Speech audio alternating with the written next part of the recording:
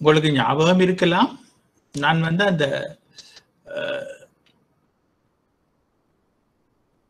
அருமை மாற்றுத்தறிவு பயன்பாடு அதுகளுக்குள்ள விட்டுட்டு போயிட்டேன். ஆகவே இப்ப நாங்க பார்க்க போறது வந்து அமைய செலவு. அந்த அருமைக்குள்ள வார அமைய செலவு. அப்போ அஹ், உதாரணமாக நான் சொன்ன விருப்பங்களும் வளங்களோட கிடைக்கக்கூடிய வளங்களோட ஒப்படைக்க அருமையாக இருக்கின்றது என்று அது மாற்று பயன்பாடு. அப்ப அந்த வளங்கள் வந்து நாங்கள் மாற்று பயன்பாட்டுக்கு பயன்படுத்தக்கூடியதாக இருக்கும். அப்படி இருந்தும் நாங்கள் அதை நாங்கள் ஒரு தேவைக்காக பயன்படுத்துகிறோம் என்றால் அப்ப இன்னொரு தேவைக்காக நாங்கள் அதை பயன்படுத்தப்படுவதிலிருந்து தவிர்த்து கொண்டுதான் இதுக்கு வருகின்றோம். அப்ப அதைத்தான் நாங்கள் சொல்றது அமைய செலவண்டு உதாரணத்துக்கு என்னட்டா என்னட்ட ஒரு கொஞ்சம் பிளாஸ்டிக் தான் இருக்கின்றது என்று சொன்னால் அந்த பிளாஸ்டிக்கை கொண்டு நான் ஒரு பேனையை செய்வதா அல்லது இந்த போத்தில் தண்ணி போத்திலே செய்வதா என்று நாங்கள் கேட்டுக்கொண்டால் இந்த போத்திலே செய்ய வழிகிட்டால் அது வந்து இந்த பேனையை செய்வதற்குரிய அமைய செலவு. நான் இந்த பேனையை செய்வதற்கு அந்த என்னென்ன ரிசோர்ஸ் வந்து லிமிட்டட் அந்த ரிசோர்ஸ்ன்றது பிளாஸ்டிக்கா நான் இங்கே சொல்றேன். அப்ப இந்த பேனையை நான் செய்து விட்டேனேன்னா இந்த போத்தி தண்ணி போத்தில என்னால செய்ய முடியாமல் போகும். ஆகவே ஒன்று ஒன்றுக்காக ஒன்று நாங்கள் தியாகம் செய்வதுதான் அமைய என்று சொல்லப்படுகின்றது. அப்ப இங்க பாருங்க குறிப்பிட்டது ஒரு பண்டத்தை அல்லது பணியை பணியன்றது சேவையை உற்பத்தி காரணிகள் உடலிடங்களாக பல தேவைகளுக்கு நாங்கள் பயன்படுத்தலாம். உதாரணமாக ஒரு காணித்துண்டை வீட்டு தோட்ட பயிற்சிக்காக வசிப்பதற்காக வீட்டு தோட்ட பயிற்சியை செய்வதற்காக நாங்கள் பயன்படுத்தலாம். இல்லாட்டால் வீடொன்றை கட்டுவதற்காக நாங்கள் பயன்படுத்தலாம். வீடொன்றை நாங்கள் வசிப்பதற்கான வீடொன்றை கட்டுவதற்காக. இல்லாட்டால் ஒரு பிஸ்னஸ் ப்ராப்பர்ட்டியாக நாங்கள் அந்த இடத்தை பயன்படுத்தலாம். அப்ப எப்படி பயன்படுத்தினாலும் ஒன்றைத்தான் எங்களை செய்யலாம்டா மற்றதுகள் வந்து அமைய செலவாக அமைந்து காணப்படும். அதைத்தான் இந்த இது பந்தியில விளக்கமாக சொல்லியிருக்கின்றது. நான் உங்களிடம் சொன்னேன் ஏற்கனவே இயலுமான மட்டும் நீங்கள் இதை வாசித்து கொண்டு வாங்கள் அப்போ எங்களுக்கு கொஞ்சம் வேகமாக நகரக்கூடியதாக இருக்கலாம் இருக்கும் என்று அப்ப நீங்கள் வாசித்திருப்பீர்கள் வாசிக்காவிட்டால் நீங்கள் வாசிங்கள் நான் அதை விளங்கப்படுத்தி கொண்டு நிற்கவில்லை. ஆகவே இப்போ அந்த உதாரணத்தின்படி நாங்கள் வந்து ஒரு சர்டன் ஒரு ஒரு பிறப்பு காணி இல்லாட்டா பத்து பேர்ச் காணி என்று சொன்னால் அந்த காணியில நான் ஒரு வீட்டு தோட்டத்தை செய்யலாம். அல்லது வசிப்பதற்குரிய வீட்டை நான் பயன்படுத்தலாம். இல்லாட்டா ஒரு வர்த்தக கட்டடம் ஒன்றை கட்டி நான் அதை வாடகைக்கு விடலாம். கடைகளுக்கு. அப்ப அதால கிடைக்கும் வருமானம். அப்ப நான் வீட்டு பயிற்சியை நான் செய்தேன்னா நான் வீடு கட்டி வசிப்பதற்காக ஒரு செலவன் இருக்கின்றது. அதாவது நான் இல்லாட்டா வேற எங்கேயாவது ரெண்ட் கொடுத்து தான் இருக்க வேண்டியிருக்கும். அப்ப அந்த ரெண்ட் வந்து ஆப்பர்ச்சுனிட்டி காஸ்ட் ஒரு பில்டிங்ல நான் வாடகைக்கு கட்டி வாடகைக்கு விட போறேன்னா அந்த வாடகையால வர்ற வருமானம் நான் வீட்டு தோட்டத்தை செய்து கொண்டிருக்கேன் அது வந்து ஒரு ஆப்பர்ச்சுனிட்டி காஸ்ட் அமைய செல்லும் இது முக்கியம் மாணவர்களே இதை நீங்கள் விலகி கொண்டால் சரி. அப்ப நாங்கள் இப்ப அந்த அமைய செலவு ஏற்படுவதற்கான காரணங்கள் அது இதில் நாங்க பார்ப்போம். அப்ப அமைய செலவு உற்பத்தியிலும் நுகர்விலும் நிலையான தெரிவினை மேற்கொள்கின்ற போது அதன் பொருட்டு விட்டு கொடுக்கின்ற அல்ல இழக்கப்படுகின்ற இனிய தெரிவுகளின் பெறுமதியே அமைய செலவு என்று சொல்லப்படும். அமைய செலவு ஏற்படுவதற்கான காரணம் என்ன? வளங்களின் அருமைத்தன்மை சிம்பிள் வளங்களின் அருமைத்தன்மை வளங்களின் மாற்று பயன்பாடு. அப்ப வளங்கள் வந்து அருமையாக இருக்கின்றது உண்டு. வளங்களை வேறு தேவைக்கு பயன்படுத்தலாம்ன்றது இன்னொன்று. அந்த நிலத்தை நாங்கள் எடுத்த உதாரணத்துல அந்த நிலத்தை வர்த்தக கட்டிடத்துக்கும் பாவிக்கலாம் வீட்டு தோட்டத்துக்கும் பாவிக்கலாம் என்பது மாற்று பயன்பாடு. எப்ப நாங்கள் இருக்கிறதுக்கு வீட்டை கட்டும்படும் அடுத்தது நிறைதொழில் மட்டம் இருக்கின்றது. உழைப்பை பொறுத்த மட்டும் நிறைதொழில் மட்டம் இருக்கின்றது. எங்களால நினைச்சோன்னு உம், உழைப்பை எடுத்துக்கொள்ளையில அந்த வீட்டை கட்டுறதுக்கோ வீட்டு தோட்டம் செய்யறதுக்கோ இல்லாட்டா வர்த்தக கட்டிடத்தை கட்டுறதுக்கோ நிறைதொழில் மட்டம் இருக்குது. ஒன்றை பாவிச்சா மற்றதுக்கு உழைப்பு இல்லை. ஒன்றுக்குத்தான் நாங்கள் பாவிக்கலாம். அதை நாங்கள் சொல்றோம் நிறை தொழில் மட்டம் என்று. அப்ப அமைய செலவு பூஜ்ஜியமாக அமையக்கூடிய காரணிகள் என்ன? அப்ப பொருளாதார பண்டங்கள் எல்லாமே அமைய செலவு உடைய காரணிகள். பொருளாதார பண்டங்கள் எல்லாமே அமைய செலவு உடைய பண்டங்கள். அப்ப அமைய செலவு பூச்சியமாக அமையக்கூடிய காரண காரணிகள் என்னன்னு இல்லாட்டா பொருட்கள் என்னன்னு சொன்னா அருமைத்தன்மை இல்லாத போது. அருமைத்தன்மை இல்லாத போது அது வந்து அந்த அமைய செலவு வந்து பூஜ்ஜியமாக இருக்கும். உதாரணமாக இப்போ எங்களோட நாட்டை பொறுத்த மட்டும் சூரிய ஒளி என்பது அருமைத்தன்மையில் எங்களுக்கு எந்த நேரம் கிடைக்கும்? இரவை தவிர. அப்ப நான் அது அங்கே அங்க வந்து சூரிய ஒளி வந்து எங்களை பொறுத்த மட்டும் அருமைத்தன்மை இல்லாதது அதால அமைய செலவு இல்லை. வளங்களுக்கு மாற்று பயன்பாடு இல்லாத போது ஒரு வளத்துக்கு நாங்கள் வேறொன்றுக்கும் பயன்படுத்த முடியாது என்ற நிலை இருக்கும் பொழுது ஒரு வளத்தை இதுக்கு தான் பாவிக்கலாம் என்று சொல்லிக்க இட்ஸ் சீப் எங்களுக்கு ஒரு வேல்யூ ஃபார் மணி இல்லை அந்த பெருமதியை பெருமதி இல்லாத ஒரு விடயங்கள் வந்து சமய செலவு பூச்சியமாக அமையக்கூடிய காரணிகள். அதை தவிர குறை தொழில் மட்டம் வேலை இன்மை இருக்குது. கேட்டோன்னா வாரத்துக்கு லேபரர்ஸ் இருக்கிறாங்க என்று சொன்னா அங்க வந்து அமைய செலவு இல்லை. ஒன்றுக்குத்தான் பயன்படுத்தலாம் ஊழியர் மட்டத்தை என்ற ஒரு நிலை இல்லை. அப்ப அதைத்தான் நாங்கள் அமைய செலவு பூஜ்ஜியமாக அமையக்கூடிய காரணங்கள் என்று சொல்லிக் கொள்வோம் உற்பத்தி வளங்களை பொருளாதார செயற்பாடுகளில் ஈடுபடுத்தும் பொருட்டு உற்பத்தி வளங்கள் மேற்குறித்த மூலாதார பொருளியல் பிரச்சனைகளை எதிர்நோக்குகின்றன. எனவே மூலாதார பொருளியல் பிரச்சனைகளை தீர்ப்பதற்கு அடிப்படையாக அடிப்படை பொருளாதார அதை திருத்திக் கொள்ளுங்க. அடிப்படை பொருளாதார பிரச்சனைகள் தோற்றம் பெறுகின்றன. அப்ப இது இப்ப இதுல இருந்து தான் நாங்கள் அந்த ஒவ்வொரு விதமான முதலாளித்துவ பொருளாதாரம் இல்லாட்ட சந்தை பொருளாதாரம் அரச பொருளாதாரம் அப்படியான பொருளாதாரங்களை பிரிச்சு கொள்றோம். அதுல முதலாவது என்ன பொருளை உற்பத்தி செய்தல் என்பது. அப்ப இதைத்தான் நாங்கள் உற்பத்தி சாத்திய வளைகோடு மூலம் அடுத்த சாப்டர்ல நாங்கள் விளங்கிக் கொள்ள போறோம். அடுத்தது எவ்வாறு உற்பத்தி செய்வது என்பது. அது மனித வளத்தை கொண்ட அல்லது மூலதன வளத்தை. மூலதன வளம் என்று சொல்றது இந்த இயந்திரங்கள். மனித வளம் என்று சொல்றது லேபரர்ஸ் ஊழியம். அப்போ ஊழியத்தை கொண்டா இயந்திரத்தை கொண்டா நாங்கள் உற்பத்தி செய்ய போறோம் என்பதெல்லாம் இதை வச்சு கொண்டுதான் தீர்மானிக்கிறது. அப்ப யாருக்காக உற்பத்தி செய்தல்? பொதுவாக கூடுதல் வருமானம் உடையவர்கள் தான் கூடுதலான பொருட்களை நுகர்வர். அப்படி இல்லாட்டா கூடுதலான விலை கொடுத்து நுகர்வர். அப்ப இதனால் உற்பத்தி அவர்களை நோக்கித்தான் நகர்வதாக இருக்கும். முக்கியமாக அங்க சந்தை பொருளாதாரத்தில். முக்கியமாக சந்தை பொருளாதாரத்தில். அப்ப நான் எனக்கு ஞாபகம் இல்லை நாங்கள் அந்த இது படிச்ச நாங்களான்னு சொன்ன இலவச பண்டங்கள் பொருளாதார பண்டங்கள் படிச்ச நாங்களான்னு நினைக்கிறேன். பொருளாதார பண்டங்கள் என்ன என்னன்றதை படித்தோம் பொருளாதார பண்டங்கள் இல்லாத இலவச பண்டங்கள் வந்து இதில் வந்து அமைய செலவு அற்ற பண்டங்களாக நாங்கள் கருதுகின்றோம். அப்போ அடுத்த சாப்டருக்கு போவோம். ரெண்டாவது லெசன் டூ என்ற சாப்டருக்கு போவோம் மாணவர்களே. அங்கு வந்து நாங்கள் படிக்க போவது இப்போ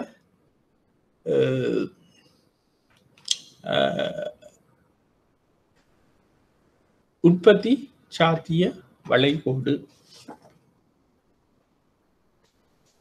உற்பத்தி சாத்திய வளைகோடு. அப்ப இத வந்து நான் இயலுமான வரை அந்த பெர்ஃபெக்டா அந்த போர்டில் நான் இதை கீறி விடுறேன். அப்போ அந்த நேரத்தில் உங்களுக்கு நோட்ஸ் தெரியாது. ஆகவே நீங்கள் உங்களோட நோட்ஸை கையில வச்சுக்கொள்ளுங்க. அப்போ நாங்கள் இந்த கிராஃபில் கீறுவதன் மூலம் அதை ஷோ பண்ணிக்கொள்ளலாம் அந்த கிராஃபை பெரும்பாலும் அந்த கிராஃப் அதில் கீறுப்பட்டிருக்கின்றது. சில இதுகள் கொஞ்சம் கொஞ்சம் அந்த கிராஃபில் கீற வழி எனக்கு கொஞ்சம் சிக்கலாக இருந்தது. அதால நீங்கள் அதை ஒருக்கா கிளியர் பண்ணி கொண்டுங்க. நான் எதுக்கும் போர்டில் கீறி உங்களுக்கு அதை விளங்கப்படுத்தி விடுறேன்.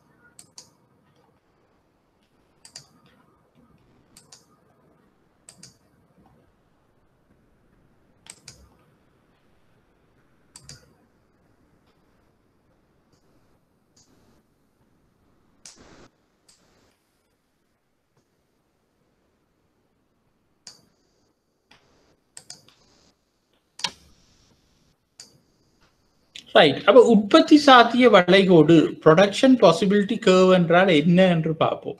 அப்போ ஒரு குறிப்பிட்ட காலப்பகுதியில் இருவேறுபட்ட பொருட்களை நிலையான தொழில்நுட்பத்தின் கீழ் வரையறுக்கப்பட்டதும் மாற்று பயன்பாட்டை உடையதுமான வளங்களை கொண்டு நிறை தொழில் மட்டத்தில் உற்பத்தி செய்கின்ற உற்பத்தி புள்ளியினூடாக வரையறுக்கப்படுகின்ற கோடு அல்லது வலை உற்பத்தி சாத்திய வலை என்று நாங்கள் கூறிக்கொள்கின்றோம். அப்ப இந்த உற்பத்தி சாத்திய வலைக்குரிய நிபந்தனைகள் என்னென்றால் வளங்களின் அளவு இல்லாட்டா இது நிலையானது என்று சொல்லிக் கொள்ளும் ரெண்டாவது பண்டங்கள் இரண்டு பண்டங்கள் மட்டும் உற்பத்தி செய்யப்படுகின்றது என்று நாங்கள் கொள்ளுகின்றோம். மூன்றாவது தொழில்நுட்பம் நிலையானது மற்றதெல்லாம் நிலையான என்று சொல்லிக் கொள்கின்றோம் ஏன் நாங்கள் இங்க ரெண்டு பண்டத்தை எடுக்கின்றோம் என்று சொன்னால் எக்ஸ் அச்சு வை அச்சு என்ற ரெண்டு அச்சத்தான் நாங்கள் க- கவனத்துல கொண்டு நாங்கள் இதை கீற போகின்றோம். அப்ப உற்பத்தி சாத்திய வலையோட கீறும் பொழுது நாங்கள் ரெண்டு தெரிவை தான் பயன்படுத்த போறோம். ஒன்றில் எக்ஸ் அச்சில் இருக்கிற ஒரு பண்டத்தை உற்பத்தி செய்யறதா இல்லாட்டா y அச்சில் இருக்கிற பண்டத்தை உற்பத்தி செய்யறதா இல்லாட்டா அது ரெண்டிலையும் என்ன கம்பினேஷனை நாங்கள் பயன்படுத்துவது என்று. சரியா? அது இப்ப நாங்கள் இந்த இதை பார்ப்போம். இந்த கிராஃபை பாருங்கோ. இந்த கிராஃப் பெர்ஃபெக்டா கீறுபட்டிருக்கின்றது இப்ப பாருங்க எக்ஸ் அச்சு வை அச்சுன்ற ரெண்டு அச்சு இருக்கின்றது. அதிலே வை அச்சு நேர் நேர் அச்சா இருக்கின்றது கிடையச்சாக எக்ஸ் என்று இருக்கின்றது. இப்ப நாங்க சொல்லுவோம் வை என்ற பண்டத்தை நாங்கள் உற்பத்தி செய்யறத இந்த பக்கம் அது பிரதிபலிக்கின்றது.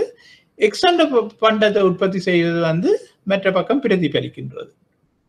அப்ப நாங்கள் சொல்லுவோம் ஏ என்ற புள்ளியில வந்து வைப்பண்டம் பண்டம் நூறும் எக்ஸ் பண்டம் சைவரும் உற்பத்தி செய்யப்படுகின்றது. அப்ப பாருங்க இந்த கிராஃபை நாங்கள் கீரைக்க ஏ என்ற புள்ளியில வந்து பாருங்க நூறு என்ற பண்டத்துல ஒரு புள்ளி அஹ், இதண்டுகின்றோம்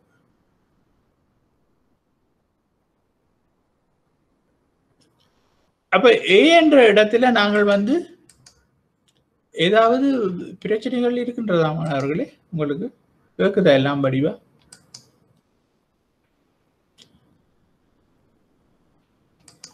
ரைட் அப்போ இந்த ஏ என்ற புள்ளியில் நூறு பொருட்கள் உற்பத்தி செய்யப்படுகின்றது.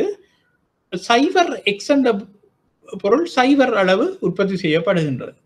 பி என்ற இடத்துல பாருங்க தொண்ணூறு ஒய் என்ற பொருளும் எக்ஸ் என்ற பொருள் இருபதும் உற்பத்தி செய்யப்படுகின்றது. சி என்ற புள்ளியில் எழுபது ஒய் என்ற பொருளும் நாற்பது எக்ஸ் பொருளும் உற்பத்தி செய்யப்படுகின்றது. அப்ப இப்படி நாங்கள் கீறும் பொழுது ஒரு புள்ளியல் புள்ளியலை நாங்கள் அதில் போட்டுக்கொள்கின்றோம்.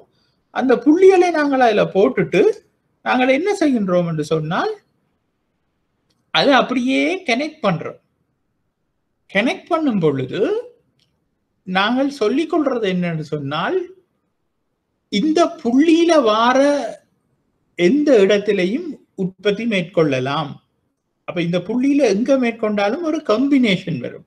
வையில எத்தனை பண்ணங்கள் எக்ஸில் எத்தனை பண்ணங்கள் அப்ப இந்த இடம் வந்து நிறை தொழில் மட்டம் இல்லாட்டா ஃபுல்லி யூட்டிலைசேஷன் ஆஃப் ரிசோர்சஸ் அந்த நாடு ஒரு நாடுன்னு எடுத்துக்கொண்டால் இல்லாட்டா ஒரு நிறுவனம் என்று அந்த நாங்கள் உதாரணத்துக்கு நாடுண்டே எடுத்துக்கொள்வோம்.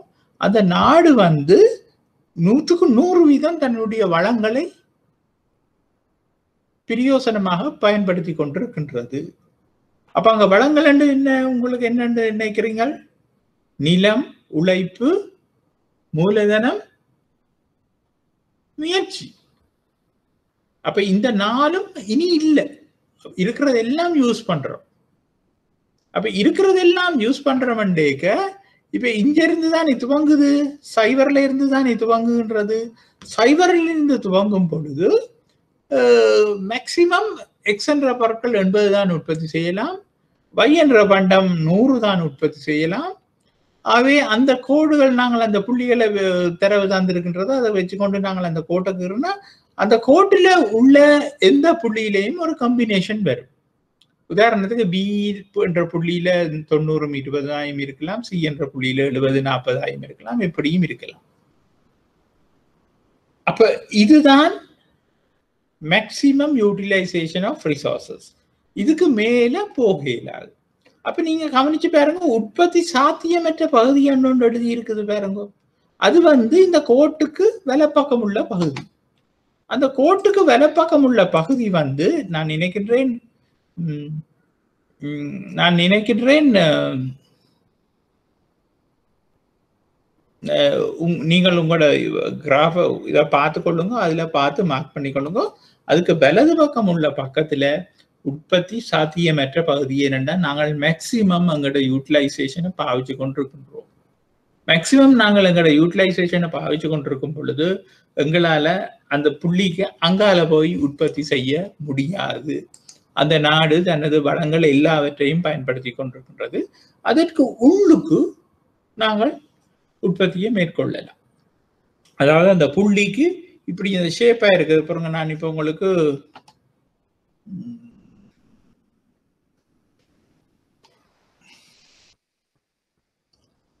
கிராஃபுக்கு போகின்றேன்.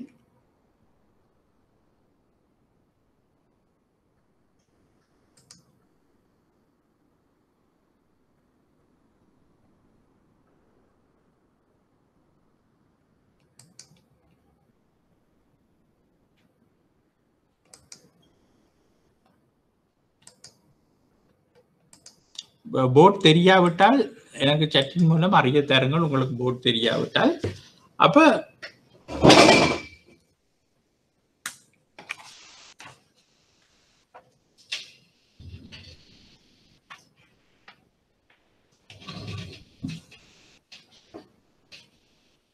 இது ஒரு முக்கியமான பகுதி என்றபடியால் கொஞ்சம் கவனம் செலுத்துங்கள். இப்ப நான் இந்த இந்த இதுல ஒரு புள்ளி இருக்கிறது என்று சொல்லுவோம் இதை. பி என்ற ஒரு புள்ளி இருக்கின்றது இந்த கோட்டுக்கு வெளியே. இந்த கோட்டுக்கு வெளியே இருக்கும் பொழுது உங்களால இந்த பக்கத்தில உற்பத்தி செய்ய முடியாது என்னன்னா இந்த நாட்டை பொறுத்த மட்டும் உற்பத்தி செய்யற மேக்சிமம் ரிசோர்சஸ் கொண்டு இந்த ரெண்டு பொருட்களையும் இவ்வளவு தான் எங்களால உற்பத்தி செய்ய முடியும். ஆனால் நாங்கள் வந்து இந்த பகுதிக்குள்ள உற்பத்தி செய்தால் இந்த பகுதிக்குள்ள உற்பத்தி செய்தால் இந்த கியூ என்ற புள்ளியில உற்பத்தி செய்தால் அது ஒரு இன்எஃபிஷியன்டான இடம் உண்டு. அதாவது நாங்கள் எங்களோட ரிசோர்ஸை மேக்சிமம் யூட்டிலைஸ் பண்ணாம ஒரு கொஞ்சத்தை மட்டும் பாவிச்சு கொண்டு இருக்கின்றோம் அப்போ எங்களோட ரிசோர்ஸஸை நாங்கள் வேஸ்ட் பண்றோம் இல்லாட்டா இன்எஃபிஷியன்ஸா பாவிக்கணும்னு சொன்னா அதுவும் ஒரு கிரைம் அவை இதுவும் விரும்பத்தக்கது இல்லை இது நாட் அச்சீவபிள் இது அச்சீவ் பண்ணக்கூடிய ஒரு இடம் அல்ல ஆகவே இதுதான் மேக்சிமம் அச்சீவ் பண்ணக்கூடிய இடம்.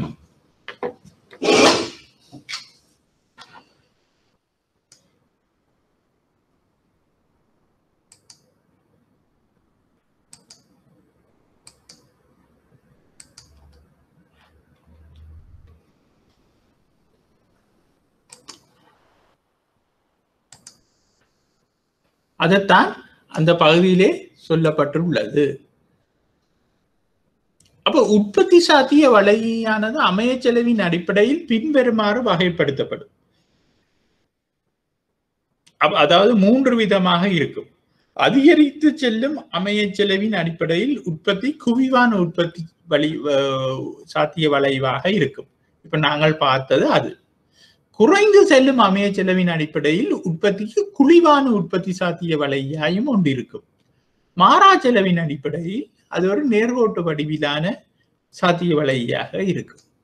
அப்ப அதிகரித்து செல்லும் அமைய செலவின் அடிப்படையில் உற்பத்திக்கு குவிவான அதை திருத்திக் கொள்ளுங்க அதிகரித்து செல்லும் அமைய செலவின் அடிப்படையில் உற்பத்திக்கு குவிவான உற்பத்தி சாத்திய வளைகோடு அதை நாங்க நீங்க அந்த ஹெடிங்ல திருத்திக் கொள்ளணும். அது வந்து இந்த கிராஃப் வந்து போட்டபடியா கொஞ்சம் ஷேப்பா இல்லை. ஆனா இந்த இந்த இதுல இருக்கிற மாதிரியான ஒரு ஷேப்பா தான் வரும். இதுல இருக்கிற மாதிரியான ஒரு ஷேப்ல நீங்கள் அதை மாத்தி கொள்ளுங்க. அந்த அதுல இருக்கிற படத்தை.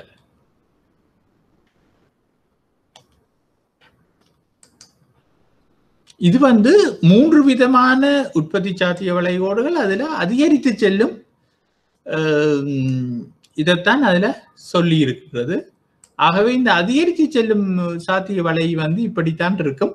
அது உற்பத்திக்கு குவிவான என்று மாத்திக்கொள்ளுங்க அதே சமயம் இங்கே அரிசியையும் துணி உற்பத்தியையும் அரிசி உற்பத்தியையும் அங்கே உதாரணமாக காட்டியிருக்கு. இந்த கோடு வந்து எப்பவும் ஒரு சரியான குவிவான கோடாக இருக்கும். அப்ப அமைய செலவு அதிகரித்து செல்வதற்கான காரணங்கள் என்ன? அதை நாங்கள் பார்த்துக்கொள்வோம். ஒரு பொருளை உற்பத்தி செய்து அதன் அலகுகளை அதிகரிக்கும் பொழுது விட்டு கொடுக்கும் உற்பத்திகளின் அலகுகள் குறைவாக இருக்கும். அதை நீங்க விளங்கிக் கொள்ளுங்க. இப்ப நான் வந்து இப்ப வை என்ற பொருளும் எக்ஸ் என்ற பொருளையும் தானே நாங்கள் பார்த்தோம். வை என்ற பொருளையும் எக்ஸ் என்ற பொருளையும் நாங்கள் பார்க்கும் பொழுது இங்கே விட்டு கொடுக்கும் இங்க வைய விட்டு கொடுத்து இப்ப சொல்லுவோம் இதுல நூறு பொருட்கள் உற்பத்தி செய்யப்பட்டு படுது எக்ஸில ஒன்றுமே உற்பத்தி செய்யப்படவில்லை என்று. அப்ப சைவரிலிருந்து நூறு உற்பத்தி செய்யப்பட்டு கொண்டிருக்கும் பொழுது நான் நிறைய கம்பினேஷன் வருது. அதுல நாங்கள் இதுல ஒரு கொஞ்சத்தை விட்டு கொடுத்து தான் இதை உற்பத்தி செய்ய போகின்றோம். அப்ப உதாரணமா இதுல பாவம் பத்தை விட்டு கொடுத்து பத்தை விட்டு கொடுக்க எக்ஸில் எங்களால இருபது பொருட்களை உற்பத்தி செய்யக்கூடியதா இருக்குமா இருந்தால் பாருங்க இது அதிகரித்து செல்லும் உற்பத்தி சாத்திய வரை நாங்க பத்து அலகுகளை தான் விட்டு கொடுக்கிறோம். ஆனா இருபது அலகுகளை இங்க கூடுதலாக எடுத்துக்கொள்கின்றோம் பத்து அலகுகளை விட்டு கொடுக்கிறோம் இருபது இருபது அலகுகளை கூடுதலாக எடுத்துக்கொள்கின்றோம் இப்படி இதுல இன்னொன்று இன்னொரு பத்து அலகு குறைச்ச வேண்டாம் இங்க முப்பத்தஞ்சு இல்லாட்டா நாற்பதுல வந்து நிற்கும் இது தொண்ணூறு ரெண்டும் இது நாற்பது என்று சொல்லுவோம். இது எண்பது என்று சொல்லுவோம். அப்ப இங்க விட்டு கொடுக்கிற அலகுகள் வந்து இங்க கூடுதலான பயனை எடுக்கக்கூடியதாக இருக்கின்றது. அதனாலதான் நாங்கள் அதை அதிகரித்து செல்லும் எல்லை பயன் என்று நாங்கள் சொல்லிக் கொள்கின்றோம்.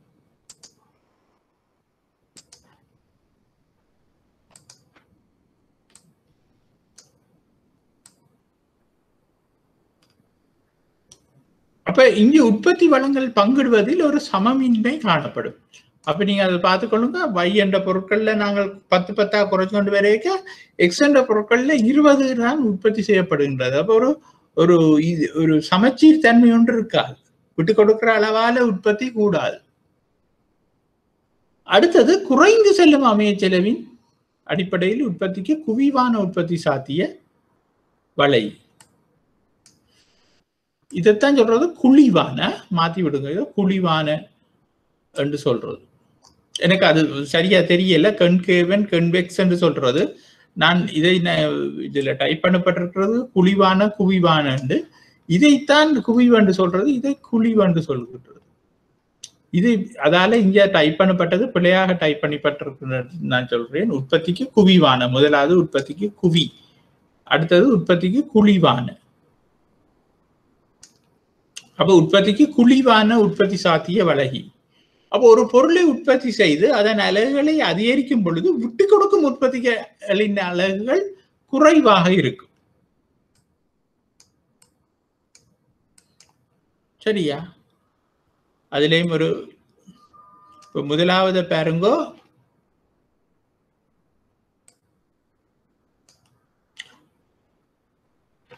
முதலாவது பாருங்க அதிகரித்து செல்லும் உற்பத்தி சாத்திய வலை என்று சொல்லும் பொழுது ஒரு பொருளை உற்பத்தி செய்து அதன் அலகுகளை அதிகரிக்கும் போது விட்டு கொடுக்கல் உற்பத்திகளின் அலகுகள் குறைவாக இருக்கும். ஆனால் இங்கே ஒரு பொருளை உற்பத்தி செய்து அதன் அலகுகளை அதிகரிக்கும் பொழுது விட்டு கொடுக்கும் உற்பத்திகளின் அலகுகள் கூடுதலாக இருக்கும். அதை வெட்டி போட்டு கூடுதலாக இருக்கும் என்று எழுதி கொள்ளுங்க. இந்த கிராஃப பாருங்கோ இதுதான் குழிவான வலை.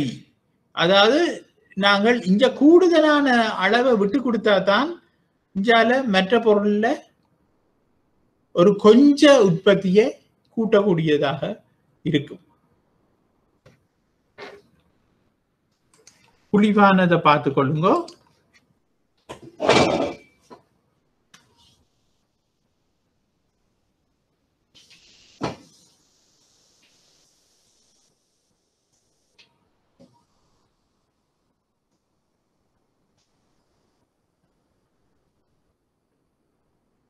இப்படி இருக்கு.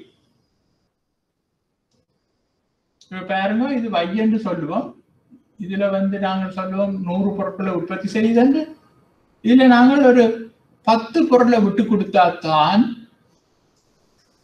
இங்க அஞ்சு பொருளை உற்பத்தி செய்யக்கூடியதாக இருக்கு.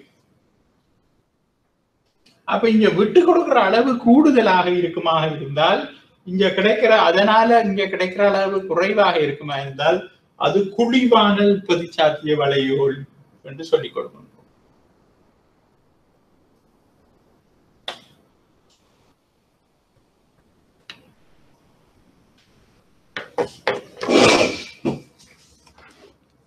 இதுகளை அந்த நோட்ஸ்களில் நீங்கள் தயவு செய்து திருத்திக் கொள்ளுங்கள். ஏனென்று சொன்னால் அந்த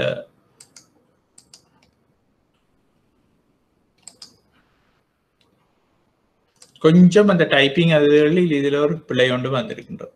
அப்ப நான் இதிலே ஒரு உதாரணத்தை வச்சு கொண்டுதான் இந்த கிராஃபை கீறியுள்ளேன். இப்ப நீங்களும் இதை வச்சுக்கொண்டு இந்த கிராஃபை கீறி பார்க்கலாம். ஆனால் இப்படித்தான் அது வரும். அதாவது உற்பத்திக்கு குழிவான அமையச்செல்வு அப்ப இந்த அமையச்செல்வு குறை அமையச்செல்வு குறைந்து செல்வதற்கான காரணங்கள் என்ன? அதன் அலகுகளை அதிகரிக்கும் பொழுது மற்ற பொருட்களின் விட்டு கொடுப்பு இருக்கிறபடியாக இருக்கிறபடியால் மாறா அமைய செலவின் அடிப்படையில் நேர்கோட்டு வடிவிலான உற்பத்தி சாத்திய வலையன்ற பொழுது எங்களுக்கு அது ஒரு கரைச்சலும் இல்லை நேர்கோடாகவே இருக்கும். அதாவது எல்லாமே ஈக்குவலாக இருக்கும். விட்டு கொடுக்கின்ற அளவும் இங்கே அதிகரிக்கின்ற அளவும் ஈக்குவலாக இருந்து கொண்டிருக்கும். அதை நீங்கள் இந்த சார்ட்டின் படி பார்த்து கொள்ளலாம் அது ஒரு நேர்கோடாக இருக்கும். அப்ப முதலாவது நாங்கள் பார்த்தோம் குவிவான உற்பத்தி சாத்திய வளைவோடு இரண்டாவது குழிவான உற்பத்தி சாத்திய வளைவோடு மூன்றாவது நேரான உற்பத்தி சாத்திய வளைவோடு. அப்ப இந்த அமைச்செலவு மாற்றமடையாது. காணப்படுவதற்கான காரணங்கள் என்ன? வளங்களின் ஒரினத்தன்மை இருக்க வேண்டும். மற்றது வளங்கள் பூரண மாற்று பயன்பாட்டை கொண்டு கொண்டிருக்க வேண்டும். அதாவது சம அளவில் மாற்று பயன்பாடு ஒன்றுக்கு பாவிக்கிறதையே மற்றதுக்கும் சேம் அளவங்களால பாவிக்கக்கூடியதா இருக்குமா இருந்தால் நாங்கள் விட்டு கொடுக்கிற பொருட்களோட உற்பத்தியால அதே அளவு இன்னொரு பொருளை உற்பத்தி செய்துட்டு போயிடலாம் அப்போ குறித்த ஒரு பண்டத்தின் உற்பத்திக்கு பொருத்தமாக உள்ள வளம் முந்தைய பண்டத்தின் உற்பத்திகளுக்கு போதுமானதாக அமைதல். அதுதான் நான் சொல்றேன்.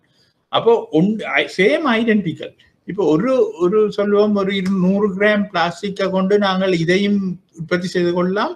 அதே நூறு கிராம் பிளாஸ்டிக்கை கொண்டு இதையும் உற்பத்தி செய்து கொள்ளலாம்டா அங்க வந்து மாற்றமடையாத அமைய செலவு உற்பத்தி சாத்திய கோடு தான். நேர்கோடான கடைசியா நாங்கள் பார்த்த நேர்கோட்டு உற்பத்தி சாத்திய வளைகோடு தான் அமைந்திருக்கு.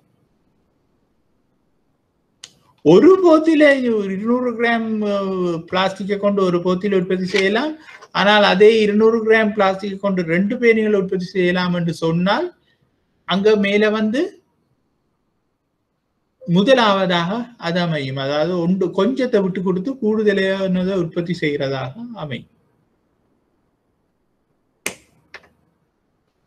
ஆகவே மூன்றாவது வேறுபட்ட பண்டங்களது உற்பத்தியை பயன்படுத்துகின்ற தொழில்நுட்ப முறைகள் ஒரே தன்மையாக அமைதல். வேறுபட்ட பண்டங்களது உற்பத்திக்கு பயன்படுத்தப்படுகின்ற தொழில்நுட்ப முறைகள் ஒரே தன்மையாக அமைதல். அதாவது அந்த சேஞ்ச் சேஞ்ச் வந்து பெருசா மாற்றமடையாது. ஒரே மெஷினை கொண்டு மற்றதையும் உற்பத்தி செய்யக்கூடியதா இருக்குமா இருந்தால் அதிக அளவு உற்பத்தி செய்யக்கூடியதா இருந்தால் அது வந்து நேர் அமை மாற்றமடையாத அமைய செலவு இல்லாட்டா நேர் ரோட்டில் அமைந்த அமைய செலவாக அமைந்து காணப்படும்.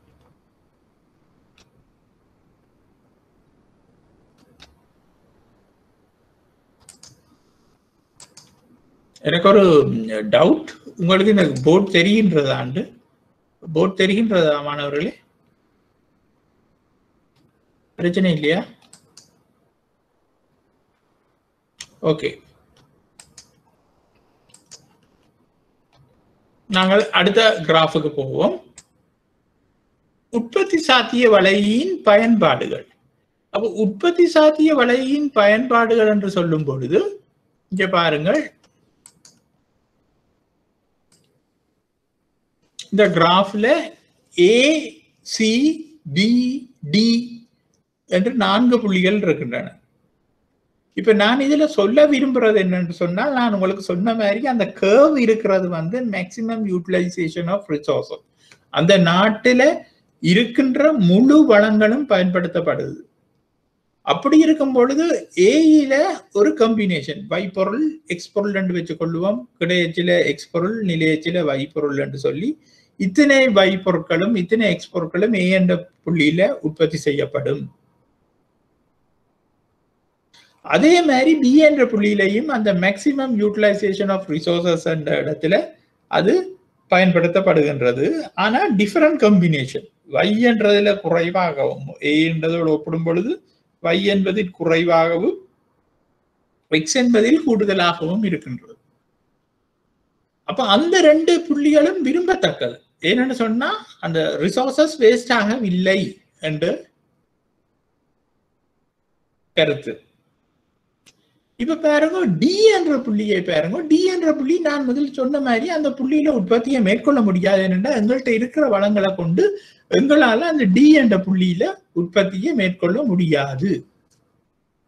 ஆகவே அது இம்பாசிபிள் அதே மாதிரி சி என்ற புள்ளியில உற்பத்தி நடக்குமா இருந்தால் அங்கே வளங்கள் குறைவாக குறைந்த அளவில் பயன்படுத்தப்படுகின்றது. மிச்ச வளங்கள் பயன்படுத்தப்படுவதில்லை. ஆகவே அதுவும் ஒரு வேஸ்ட் அதுவும் விரும்பத்தக்கதல்ல ஒரு நாட்டை பொறுத்தவரை. அப்ப இந்த நாலு விடயத்தையும் நாங்கள் ஒரு கிராஃப்ல பார்த்திருக்கிறோம்.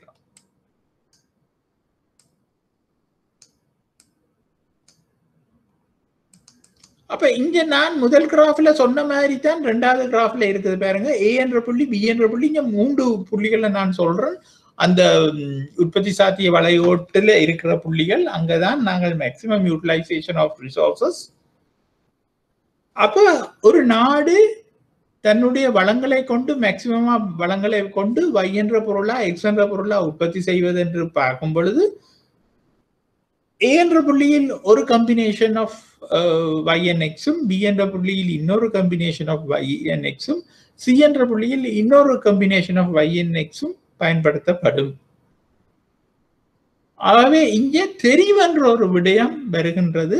இதில் எந்த புள்ளியில் நாங்கள் உற்பத்தி செய்வது அல்லது இந்த புள்ளிகளை விட்டுட்டு இன்னொரு புள்ளி அந்த கோட்டில் இருக்கிற இன்னொரு புள்ளியில உற்பத்தி செய்வதா என்பது கூட ஒரு தெரிவாகத்தான் இருக்கும். ஏனென்று சொன்னால் அங்கே ஒரு புள்ளியில் தான் உற்பத்தி நடக்கலாம்.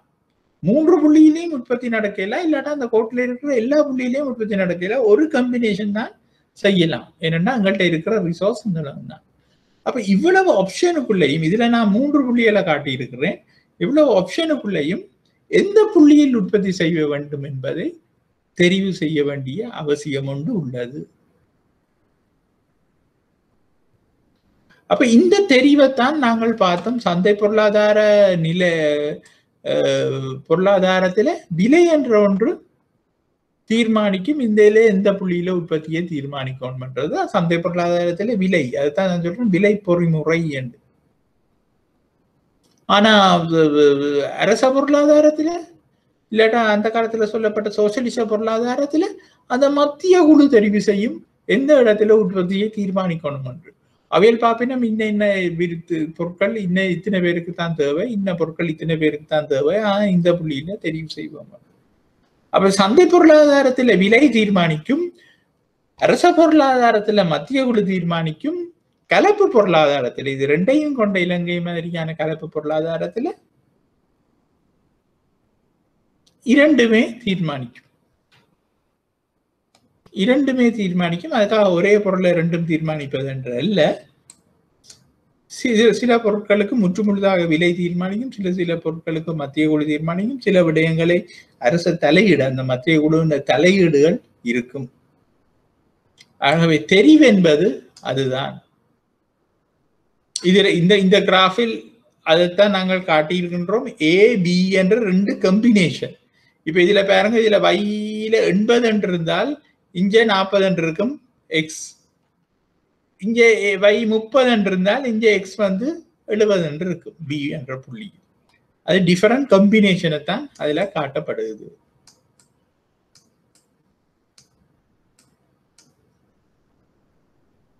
அப்ப இங்க பாருங்க ஏ சேர்க்கையை உற்பத்தி செய்வதென்றால் அங்கு பி வந்து மாற்று செலவாக அமைகின்றது. ஏ என்ற புள்ளியை நாங்கள் உற்பத்தி செய்ய சொன்னால் அங்க பி என்ற புள்ளி வந்து ஆப்பர்ச்சுனிட்டி காஸ்ட் அமைய செலவு. பி என்ற புள்ளியை எடுத்தோம் என்றால் அங்க ஏ என்ற புள்ளி மட்டும் இல்லை அதுல இருக்கிற வேற நிறைய புள்ளிகள் இருக்கும். அது எல்லாமே அமைய செலவாக அமைந்துவிடும்.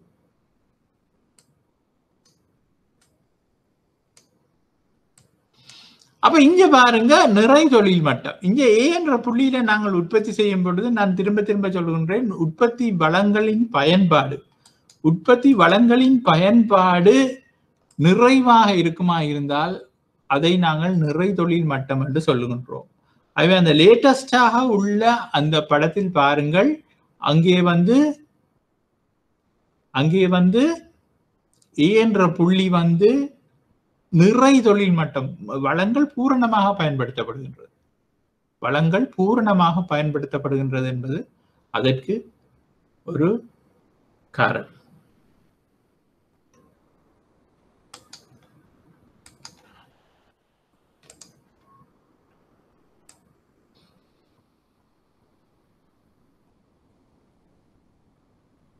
அவை பாருங்க அந்த அந்த புள்ளி வந்து உற்பத்தி சாத்திய வளைகோட்டில் அமைந்து காணப்படும். அப்ப இது இது வந்து நான் அந்த சொன்ன அந்த மூன்று அமையச்செலவையும் ஒரே படத்துல காட்டப்பட்டிருக்கின்றது அந்த மூன்று அமையச்சல் உற்பத்தி சாத்திய வளைகோடுகள் மூன்று உற்பத்தி சாத்திய வளைகோடுகளையும் ஒரே படத்துல காட்டி இருக்கின்றது தான் இந்த உற்பத்தி சாத்திய வளைகோடு. அதை நாங்கள் கலப்பு அமையச்செலவு என்றும் சொல்லிக் கொள்ளலாம். எங்களுக்கு அது அவ்வளவு முக்கியம் அல்ல அவை இங்க பாருங்க அடுத்த கிராஃபை பாருங்க. ஒரு உற்பத்தி சாத்திய வளைகோடு அது உள்ளுக்கு ஏ என்ற புள்ளியும் இருக்கின்றது பி என்ற புள்ளியும் இருக்கின்றது.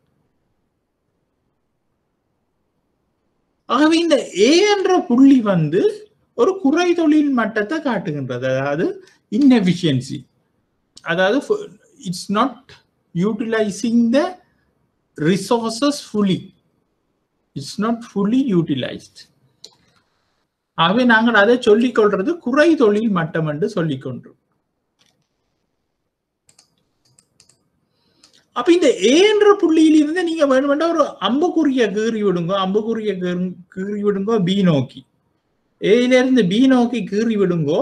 அப்ப இந்த பி புள்ளி என்னன்னு சொன்னா the situation is worsening. Situation is worsening ஏல பிஇக்கு பிக்கு இன்னும் குறை தொழில் மட்டம் கூடிக்கொண்டு போன்றது. பொருளாதாரம் வீழ்ச்சி அடைந்து கொண்டு போன்றது. ஒரு நாட்டின் பொருளாதாரம் வீழ்ச்சி அடைந்து கொண்டு போன்றது. ஏற்கனவே ஏ என்பது பொருளாதாரம் ஒரு பின்னடைவை அடைஞ்சிருக்கின்றது. அது மேலும் வீழ்ச்சி அடைவதை தான் இந்த பி ஏயிலேருந்து பி நோக்கி போறது குறிக்கின்றது. நீங்கள் அதுக்கு ஒரு அம்புக்குறியை கீறி விடுங்க பி வந்து இந்த சிச்சுவேஷன் இஸ் வேர்ஸ்னிங் வளங்கள் சரியாக பயன்படுத்தப்படவில்லை. வேலையின்மை அதிகரித்து செல்லுகின்றது. பொருளாதாரத்தில் வளர்ச்சி இல்லை. இல்லாட்டா பொருளாதாரம் மந்தம் இங்கே பாருங்க அடுத்த கிராஃபை பாருங்க.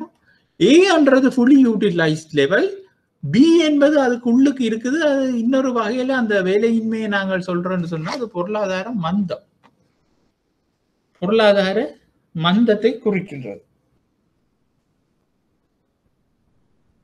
இல்லாட்டா டிப்ரெஷன் இப்ப பாருங்க இந்த கோவிட் நைன்டீன் பிரச்சனையால உலக நாடுகள் எல்லாத்திலையுமே இந்த நிலை காணப்படுகின்றது. இந்த பி புள்ளி தான் ஒவ்வொரு நாட்டையும் எடுத்தீங்களேன்னா அது ஃபுல்லி யூட்டிலைஸ் ரிசோர்சஸ்க்குள்ள இருக்காது. ஏனெண்டா இந்த பிரச்சனைகளால லாக்டவுன்ஸ் வந்திருக்கின்றது கர்ஃபியூ வந்திருக்கின்றது சில நாடுகள் முற்றுமுழுதாக மாத கணக்கில் மூடப்பட்டதே இலங்கை எடுத்துக்கொண்டாலே இலங்கை மார்ச்சிலிருந்து மே மட்டும் மூடப்பட்டிருந்தது. பிறகு அக்டோபர்ல இருந்து அலை என்று சொல்லி கோவிட் நைன்டீன் இடைக்கிட ஒவ்வொரு பிரச்சனைகள் ஒவ்வொரு இடங்கள் மூடப்பட மூடப்பட குறை தொழில் மட்டம் காணப்படுகின்றது. ஆக்களுக்கு வேலைக்கு போக இல்லாம கிடக்கின்றது. வேலை இல்லை. அவை ஏயில நிச்சயமாக ஏயில அது பயன்படுத்தப்படவில்லை. கோவிட்டுக்கு முதல் அது ஏயில இருந்திருக்கலாம். ஆனா கோவிட்டுக்கு பின்பு கோவிட் நடந்து கொண்டிருக்கின்றது. இனி அடுத்த வருடம் ரெண்டாயிரத்தி இருபத்தி ஒன்று எல்லாம் இந்த பியில தான் இலங்கை என்ற பொருளாதாரம் இருக்குது என்று நாங்கள் நினைச்சு கொள்ளும் பொருளாதார மந்தம் இல்லாட்டா பொருளாதார டிப்ரெஷன் எக்கனாமிக் டிப்ரெஷன் என்று சொல்லிக்கும் பொருளாதாரம் ஒன்றில் உற்பத்திகளானது ஒரு சில ஆண்டுகளுக்கு குறைவடைந்து செல்வது பொருளாதார மாற்றம் எனப்படும் பொருளா பொருளாதார மந்தம் எனப்படும் என்று போட்டுக்கொள்ளும் பொருளாதார மாற்றம் இல்லை பொருளாதார மந்தம் பொருளாதார மந்தம் என்பது உற்பத்தி வளைகோட்டில் உள்ள புள்ளியானது வளைகோட்டிற்கு உள்ளே ஒரு புள்ளியை நோக்கி நகரும். அப்போ உற்பத்தி கோட்டில இருந்து ஏயில இருந்து நீங்கள் அதையும் ஒரு கோடு போட்டு விடுங்க அம்புக்குறி மாதிரி பிஏ நோக்கி. அது வந்து பிஏ நோக்கி போகுது பொருளாதார எக்கனாமிக் டிப்ரெஷன் இங்க போட்டு கிடக்கு பாருங்க ஏயில இருந்து பி வாட்டு. இதுதான் அந்த உண்மை. இதைத்தான் பொருளாதார பின்ன அது வந்து பொருளாதார மந்தம் என்னன்னு சொன்னால் அந்த ஃபுல்லி யூட்டிலைஸ்ட் கேர்வ் இருக்கிற ஒரு புள்ளியில இருந்து உள்நோக்கி வந்தது. இது வந்து உள்நோக்கி இருக்கிற புள்ளியில இருந்து மேலும் உள்நோக்கி போகுதுன்னு சொன்னா பொருளாதார பின்னடை.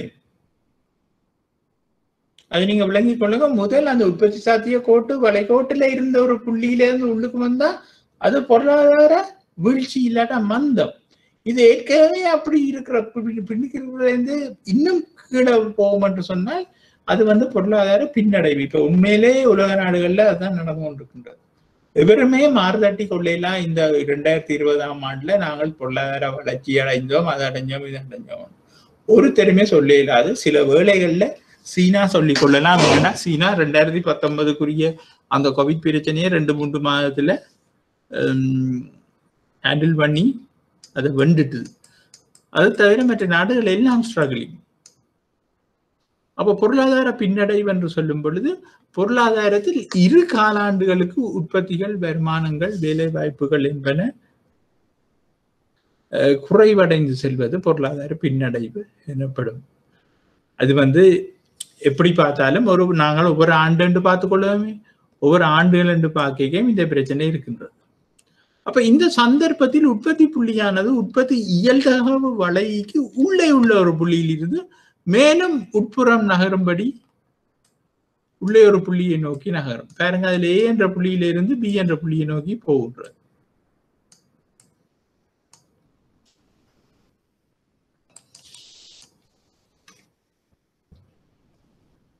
அப்ப இந்த கிராஃப் ஒருக்கா பார்த்து கொள்ளுங்க.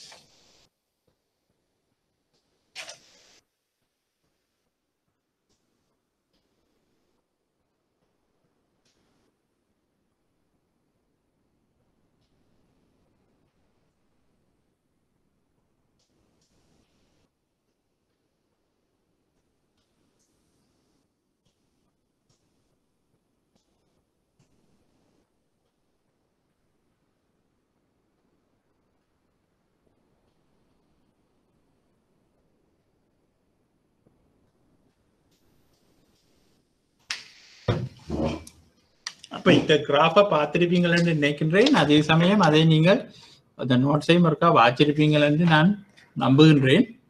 இப்பொழுது அதையே நான் இந்த கிராஃப்ல கீறி இருக்கின்றேன். இப்பொழுது பாருங்கள்.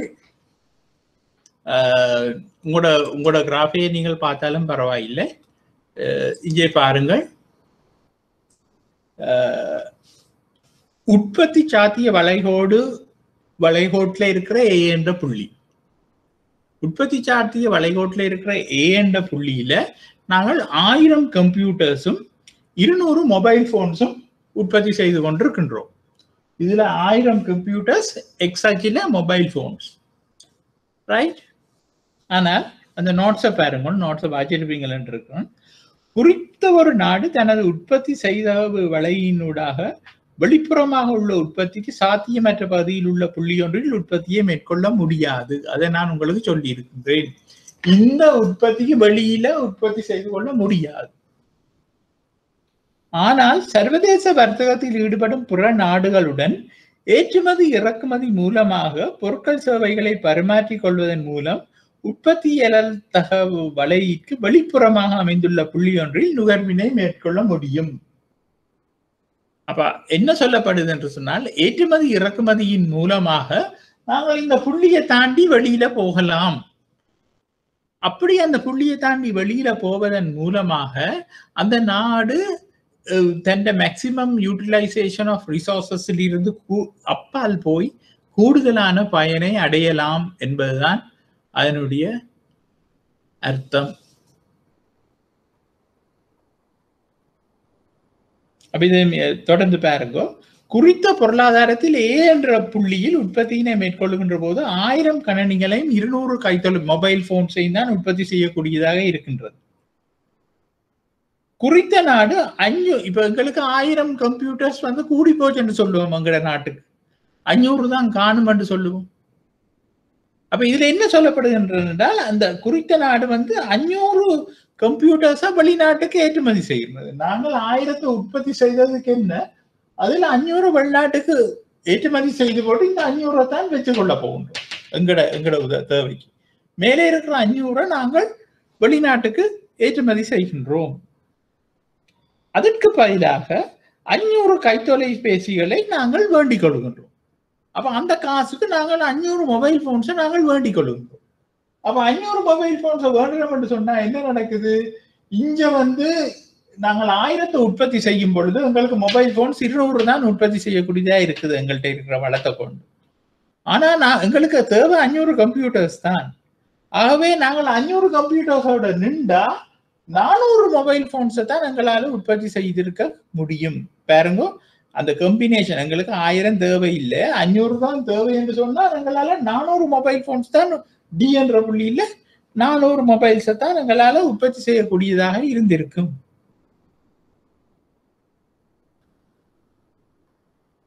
ஆனால் நாங்கள் என்ன செய்கிறோம்? ஆயிரம் கம்ப்யூட்டர்ஸ் உற்பத்தி செய்து இருநூறு மொபைல் போன்ஸை நாங்கள் உற்பத்தி செய்து கொண்டு அதில் அஞ்சூறு கம்ப்யூட்டர்ஸ் ஏற்றுமதி செய்து போட்டு அஞ்சூறு மொபைல் போன்ஸை நாங்கள் வேண்டுறோம். வேண்டாக்கு எங்களை மொபைல் போன்ஸ் டோட்டல் அமௌண்ட் எவ்வளவு வருது? அந்த அஞ்சூறோட இந்த இருநூறையும் சேர்த்தா எழுநூறு. அப்ப எங்கட உற்பத்தி சாத்திய வளைகோட்டை கொண்டு எங்கட நாட்டு உற்பத்தி சாத்திய வளைகோட்டை கொண்டு அந்த எழுநூறுன்றது அச்சீவ் பண்ண முடியாத ஒரு லெவல் அச்சீவ் பண்ண முடியாத ஒரு லெவல் வேணுமெண்டா இதை நாங்க அஞ்சூறு என்று சொல்லிக் கொள்வோம். இந்த எக்ஸ்ல வந்து முட்டுற இந்த கர்வண்ட புள்ளி அஞ்சூறு என்று சொல்லிக் கொள்வோம்.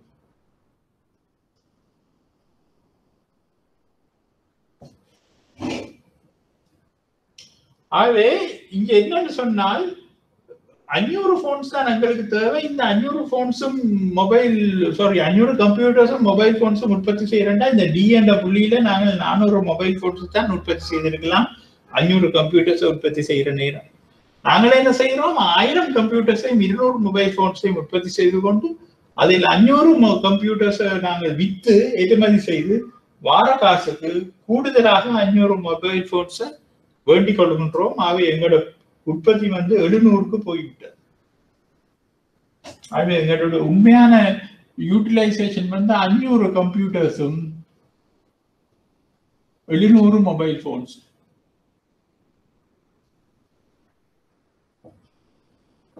இது வந்து ஏற்றுமதி இறக்குமதி வியாபாரம் அல்லாமல் சாத்தியமற்றது. ஏற்றுமதி இறக்குமதி வியாபாரத்தின் ஊடாகத்தான் இது சாத்தியம்.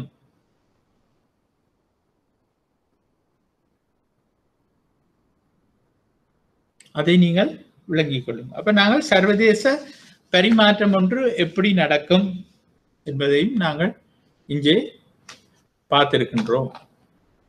ஏதாவது விளங்கவில்லை என்றால் தயவு செய்து கேளுங்கள்.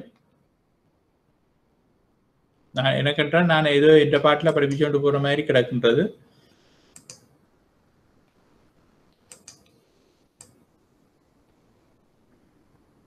அதுக்காகத்தான் நல்ல கம்ப்ரிஹென்சிவ் நோட்ஸ் ஒன்று தாரன். உங்களுக்கு அதிலேயும் ஏதாவது பிரச்சனைகள் இருக்குமா இருந்தால் நீங்கள் எனக்கு அதையும் இருக்கா சொல்லுங்கள். அடுத்தது இந்த தொழில்நுட்ப முன்னேற்றம் ஒன்று ஏற்படுவதை நாங்கள் என்ன மாதிரி இந்த படத்தில் ப்ரொடக்ஷன் பாசிபிலிட்டிக்கு ப்ரொடக்ஷனில் காட்டிக்கொள்ளலாம் என்பதை நாங்கள் பார்ப்போம். அப்ப பொருளாதாரம் ஒன்றின் உற்பத்தியில் கையாளப்படுகின்ற தொழில்நுட்ப முன்னேற்றம் உயர்வாக உள்ள போது மற்ற பொருள் நிலையாக உள்ள போது தொழில்நுட்பம் அதிகரிக்கும் போது அப்புள்ளி அதிகரிக்கும். அதுக்கு தான் அந்த கீழ் கிராஃபை நீங்க பாருங்க. அதாவது தொழில்நுட்பம் கொண்டு அதிகரிக்கின்றது. தொழில் முதலாவது படத்தை பாருங்க. தொழில்நுட்பம் கொண்டு அதிகரிக்கின்றது ஆனா ஒரு பொருளுக்கு தான் தொழில்நுட்பம் அதிகரிக்கும்.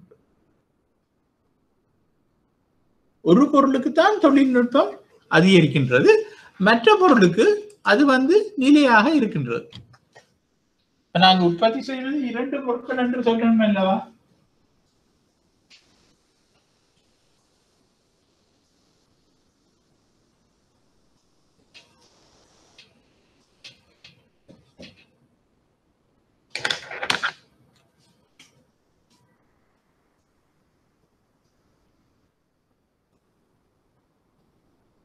பாருங்கள். இதுதான் உற்பத்தி சாத்திய வளைகோடு. இது வைப்பொருள் இது எக்ஸ்பொருள். நாங்க உற்பத்தி செய்கின்றோம். இப்ப நான் முதல் சொன்னேன் இதுல ஒரு புள்ளியை காட்டி இந்த புள்ளியில எங்களால உற்பத்தி செய்ய முடியாது என்னன்னா அது வந்து நான் அச்சீவபிள் எங்களோட ரிசோர்சஸுக்கு வச்சுக்கொண்டு அந்த இடத்தை அடைய முடியாது. ஆனால் டெக்னாலஜி டெக்னாலஜியின் மூலமாக இருக்கிற ரிசோர்ஸை கொண்டே கூடுதலான பொருட்களை உற்பத்தி செய்யலாம். அதில் மாற்று கருத்து இல்லை டெக்னாலஜிஸ் கூட கூட எங்களோட ரிசோர்சஸ் குறைவாக பயன்படுத்தி பயன்படுத்தி நாங்கள் கூடுதலாக உற்பத்தி செய்யலாம் அப்படி உற்பத்தி செய்யும் பொழுது இப்ப இந்த வை என்ற பொருளுக்குரிய தொழில்நுட்பம் வந்துட்டுன்னு சொல்லுவோம் சாரி எக்ஸ் என்ற பொருளுக்குரிய தொழில்நுட்பம் வந்துட்டுன்னு சொல்லுவோம் ஆனால் வை என்ற பொருளுக்குரிய தொழில்நுட்பம் வரவில்லை ரைட் அப்ப எக்ஸ் என்ற தொழில்நுட்பத்தால தொழில்நுட்பத்தால் எக்ஸ் பொருட்கள் வந்து இருக்கின்ற வளங்களை கொண்டே கூடுதலாக உற்பத்தி செய்யப்பட போன்றது. ஆனால் வங்கியில இல்லை. அப்ப அப்படியான நேரத்துல இந்த எக்ஸ் வந்து கூடுது வை வந்து அப்படியே இருக்கின்றது. தொழில்நுட்ப வளர்ச்சியால நாங்கள் விரிஞ்சு கொண்டு போகின்றோம். அந்த கட்டத்துல வை உற்பத்தி அப்படியே தான் இருக்கும். எக்ஸ் வந்து கூடுதலாக உற்பத்தி செய்யப்படும்.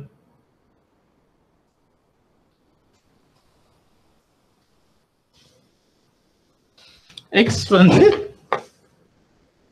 கூடுதலாக உற்பத்தி செய்யப்படும். வை வந்து குறைவாக குறைவாக இல்லை அதே கட்டத்தில் இருக்கும். அப்ப இதுல ரெண்டாவது படத்தை பாருங்க. ரெண்டுல ரெண்டு பக்கமும் ஒரே அளவில் அதிகரிக்குது. அப்ப ரெண்டு பக்கமும் ஒரே அளவில் அதிகரிக்கிறது என்று சொன்னால் அதன் அர்த்தம் என்னன்னு சொன்னால் ரெண்டு பொருட்களுமே சம அளவில் தொழில்நுட்ப பயன்பாட்டால கூடுதலாக உற்பத்தி செய்யக்கூடியதாக இருக்கின்றது. அதே அளவில் ரெண்டு பொருட்களும் தொழில்நுட்ப வளர்ச்சி காரணமாக கூடுதலாக பயன்படுத்தக்கூடியதா இருக்கின்ற அந்த கோடு வந்து சமச்சீரா அந்த பக்கம் நகரும். அதால தான் அதை நாங்கள் அம்புக்குறி போட்டு காட்டியிருக்கின்றோம் அப்ப முதல் உள்ள இடத்துல எக்ஸ் என்ற பொருள் மட்டும் தான் வள தொழில்நுட்பத்தால வளர்ச்சி அடையுது. இங்கே வந்து ரெண்டு பொருட்களுமே வளர்ச்சி அடைகின்றது. சாரி கூடுதலாக உற்பத்தி செய்யப்படுகின்றது. அப்ப நான் முதல் சொன்னேன் அந்த இடம் வந்து நான் அச்சீவபிள் இப்ப தொழில்நுட்பத்தின் காரணமாக தொழில்நுட்ப வளர்ச்சியின் காரணமாக அந்த இடத்தை அடையக்கூடியதாக இருக்கின்றது. உதாரணமாக ஒரு சின்ன உதாரணத்தை எடுத்துக்கொண்டா கொழும்புல முந்தி அஞ்சு மாடி நாலு மாடி அஞ்சு மாடி அடுக்குகள் கொண்ட அப்பார்ட்மெண்ட்ஸ் தான் இருந்தது. அப்ப அப்படியான இடத்துல முப்பது வீடுகள் தான் கட்டிக்கொள்ள கூடுதலாக இருக்கும் என்று சொல்லும் பொழுது இன்னைக்கு பாருங்க சங்கரிலா அந்த பில்டிங் இந்த பில்டிங் எல்லாம் முப்பது மாடிகள் நாற்பது மாடிகள் ஐம்பது மாடிகள் என்று வீடுகள் போகின்றது. அடுக்குமாடி வீடுகள். அப்ப அங்க முப்பது அதே பரப்பளவுள்ள காணியில முப்பது வீடுகள் கட்டியிருந்ததுக்கு பயில இப்ப முன்னூறு வீடுகள் கூட கட்டக்கூடியதாக இருக்கின்றது. அப்ப அது வந்து தொழில்நுட்ப வளர்ச்சியின் காரணமாக எங்கள்கிட்ட இருக்கிற வளங்கள் அதே அளவு காணித்துண்டுதான் ஆனால் மேல் நோக்கி எழுப்பப்படும் பொழுது தொழில்நுட்ப வளர்ச்சியின் காரணமாக அங்கே வந்து கூடுதலான வீடுகள் கட்டப்படுகின்றன அபார்ட்மெண்ட்ஸ் கட்டப்படுகின்றன. இது ஒரு நல்ல உதாரணமா நாங்கள் சொல்லிக் கொள்ளலாம் அப்ப மூன்றாவது படத்தை பாருங்கள். இது வந்து மற்றவளமாக இருக்கின்றது. இதை பற்றி நான் கணக்கு விளங்கப்படுத்த தேவையில்லை. இங்கு வந்து எக்ஸ் என்ற பொருளுக்குரிய தொழில்நுட்பம் வளரவில்லை. ஆனால் வை என்ற பொருளுக்குரிய தொழில்நுட்பம் வளர்ந்து வை என்ற உற்பத்தி கூடியிருக்கின்றது. அதை இந்த உற்பத்தி சாத்திய வளைகோட்டின் மூலம் எங்களால் காட்டிக்கொள்ளலாம்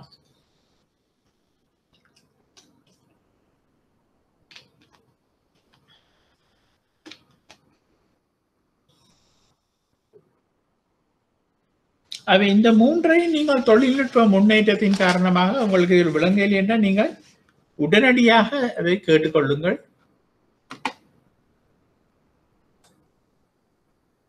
அடுத்தது தொழில்நுட்ப பின்னடைவு அப்ப இது வந்து அந்த ரெசிபோக்ரல் அது தலைகீழ் வடிவம். இப்ப பாருங்க இந்த முதலாவது தொழில்நுட்ப பின்னடைவுக்குள்ள இந்த முதலாவது நீங்க படத்தை நீங்க பார்த்தீங்கள் என்று சொன்னால் அங்கே எக்ஸ் என்ற பொருள் உற்பத்தி செய்யப்பட்ட அளவிலும் பார்க்க இப்பொழுது குறைவாக பயன்படுத்தப்படுகின்றது ஏனென்றால் இந்த எக்ஸ் பொருளுக்குரிய தொழில்நுட்ப பின்னடைவு ஒன்று ஏற்பட்டுது அந்த டெக்னாலஜி எங்களால யூஸ் பண்ண இயலாம போயிட்டு ஆனால் y பொருள் உற்பத்தி வந்து அப்படியே இருக்கின்றது. அங்கே தொழில்நுட்பத்தில் எதுவித பிரச்சனையும் இல்லை. அதே மாதிரி அந்த ரெண்டாவது படத்தை பார்த்தீங்கன்னா இங்கே தொழில்நுட்ப பின்னடைவு ரெண்டு பக்கமும் சமமான அளவில் ஏற்படுது.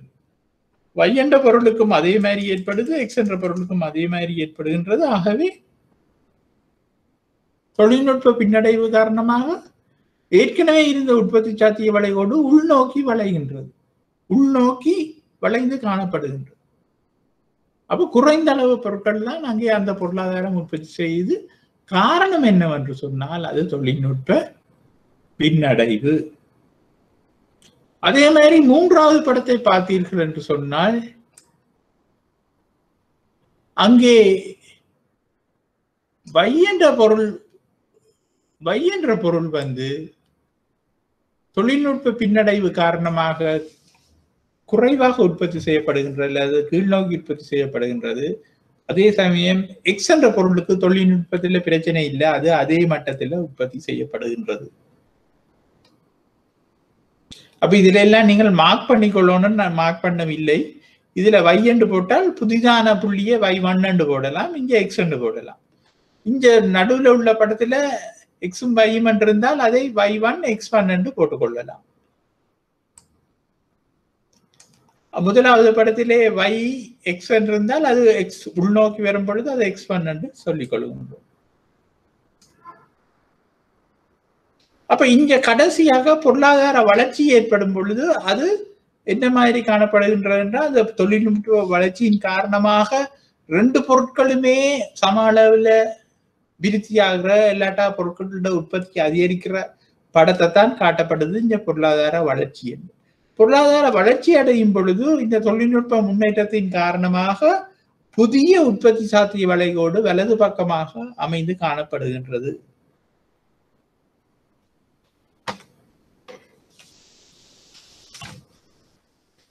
அதே சமயம் பொருளாதார வீழ்ச்சி என்னும் பொழுது என்ன நடக்கும்? அதே மாதிரி பொருளாதார வீழ்ச்சி என்னும் பொழுது அது என்ன தலைகீழ் வடிவம்? உற்பத்தி சாத்திய வடையோடு இடப்பக்கமாக நகர்ந்து காணப்படும். அங்கே ஏதோ ஒரு பின்னடைவு காரணமாக இது உதாரணமாக இப்ப கோவிட் நைன்டீன் காரணமாக இலங்கையின் பொருளாதாரம் இப்படி போயிருக்கும். பொருளாதார வீழ்ச்சி.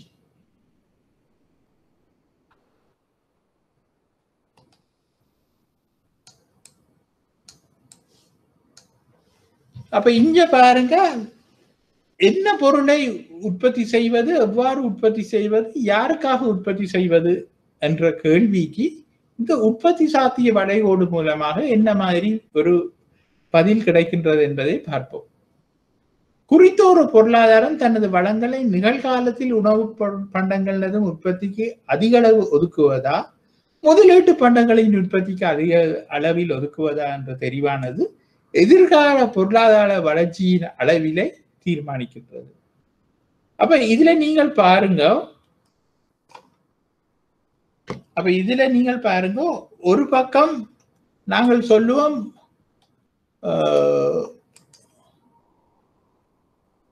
முதலீட்டு பொருட்களை உற்பத்தி செய்வதா நுகர்வு பொருட்களை உற்பத்தி செய்வதா என்று பார்த்து கொள்ளுவோம் சரியா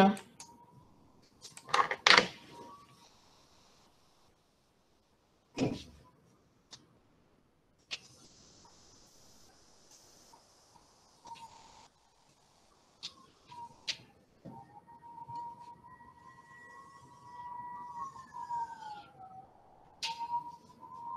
இதே இன்வெஸ்ட்மெண்ட் குட்ஸ் என்று சொல்லுவோம். இதே கன்சியூமபிள் குட்ஸ் என்று சொல்லுவோம்.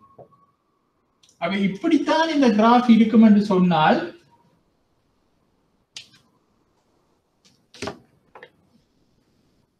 இப்படித்தான் இந்த கிராஃப் இருக்குது என்று சொன்னால்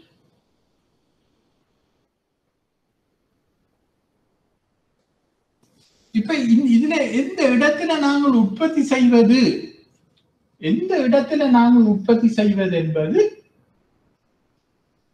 அரசாங்கம் தீர்மானிக்க வேண்டும். ஏன்னா இந்த ஏ புள்ளியில நாங்கள் உற்பத்தி செய்தால் கூடுதலான முதலீட்டு பொருட்களையும் குறைவான ஒப்பீட்டு ரீதியில் குறைவான நுகர்வு பொருட்களையும் உற்பத்தி செய்ய வேண்டியிருக்கு வி என்ற இடத்துல நாங்கள் உற்பத்தி செய்வோம் என்றால் அங்கே குறைவான முதலீட்டு பொருட்களையும் கூடுதலான நுகர்வு பொருட்களையும் உற்பத்தி செய்யக்கூடியதாக இருக்கும். அப்ப அதிண்ட நோக்கம் என்ன? முதலீட்டு பொருட்கள் என்று சொல்வது என்ன நினைக்கிறீர்கள்? மெஷினரிஸ் என்று சொல்லுவோம். மெஷினரிஸ் என்றால் இப்ப உதாரணத்துக்கு இங்க ரோட்டு போடுறது சொன்னால் இல்லாட்டா கன்ஸ்ட்ரக்ஷன் என்று சொன்னால் கிரெயின்கள் அதுகள் அப்படியான இன்வெஸ்ட்மெண்ட் குட்ஸ் அந்த பெரிய பெரிய இது மண்ணுகளை அள்ளுகிற அந்த இதுகள் அதுகளை தான் நாங்கள் இன்வெஸ்ட்மெண்ட் குட்ஸ் என்று சொல்லுகின்றோம்.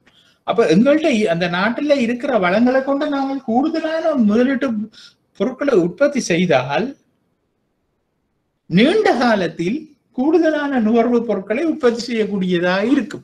நீண்ட காலத்துல இந்த கோடு இப்படி இருப்பாங்க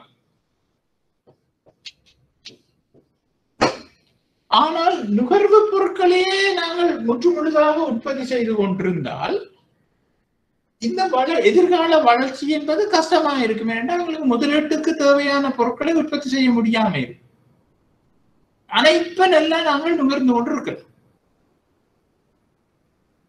அப்ப இப்படியான முடிவுகளை எடுப்பது எவ்வாறு என்பதை இப்படியான உற்பத்தி சாத்திய வளைகோடுகள் தீர்மானிக்கும் இதன் மூலம் தீர்மானித்துக் கொள்ளலாம் நாம்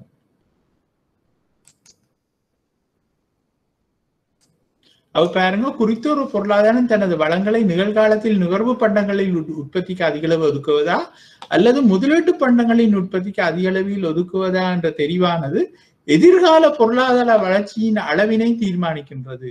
அப்ப இப்ப நாங்க கூடுதலா முதலீட்டு பொருட்களுக்கு நாங்கள் வந்து அலொகேஷனை கூட்டினால் எதிர்காலத்துல கூடுதலான நுகர்வு பொருட்களை உற்பத்தி செய்வது மட்டுமில்லை ஏழுமண்டா ஏற்றுமதியும் செய்யலாம். ஆனா இப்ப நாங்க நுகர்வு பொருட்கள்லயே நிறைய மினக்கட்டு கொண்டிருந்தோம் எதிர்கால வளர்ச்சி என்பது இருக்காது. குறித்த ஒரு பொருளாதார நுகர்வு பண்டங்களுக்குரிய வள ஒதுக்கீட்டினை அதிகரிக்குமானால் அப்பொருளாதாரத்தின் வளங்களின் அளவானது பெருமளவில் அதிகரித்து உற்பத்தி இயலளவானது பெருமளவு அதிகரிப்பதனால் எதிர்காலத்தில் மிகப்பெரியதொரு பொருளாதார வளர்ச்சி ஏற்பட்டு உற்பத்தி இயலளவு வளையானது அது விலையானது இல்ல வளையானது நீண்ட தூரத்துக்கு வெளிப்புறம் நோக்கி வலது பக்கமாக நகரும். அதுதான் நான் இப்ப உங்களுக்கு சொன்னேன். பாத்தீங்களா? முதலீட்டு பண்டமும் நுகர்வு பண்டமும். அது இல்லாம குறித்தொரு பொருளாதார நிகழ்காலத்தில் முதலீட்டு பண்டங்களுக்குரிய வள ஒதுக்கங்களை குறைத்து நுகர்வு பண்டங்களுக்குரிய வள ஒதுக்கங்களை அதிகரிக்குமானால் பொருளாதாரத்தில் வளங்களின் அளவானது சிறிய அளவில் அதிகரித்து உற்பத்தி அளவானது சிறிய அளவிலேயே அதிகரிப்பதனால் மிகச்சிறிய பொருளாதார வளர்ச்சியே ஏற்பட்டு உற்பத்தி இயலளவு வலை சிறிய தூரத்துக்கு விலப்புறம் நகரும். இப்ப இத பாருங்க. இப்ப இதுல வந்து நுகர்வு பண்டங்கள் கூடுதலாக இருக்கும். ஆனா அந்த முதலீட்டு பண்டங்களோட வளர்ச்சி வந்து குறைவாக இருக்கும். அப்ப இதை வந்து நாங்கள் பொருளாதார வளர்ச்சிக்கான அமைய என்று சொல்லிக் கொள்ளலாம். உதாரணமாக இப்ப எதிர்காலத்துல எங்களோட வளர்ச்சிக்காக நாங்கள் இப்ப வந்து தியாகம் செய்கிறோம் எங்களுடைய நுகர்வு பொருட்களை என்று சொன்னால் அது வந்து ஒரு அமைய செலவு. எதிர்கால வளர்ச்சிக்காக இன்றைக்கு நாங்கள் தியாகம் செய்வது ஒரு அமைய செலவு. அதுதான் இதிலே சொல்லப்படுகின்றது.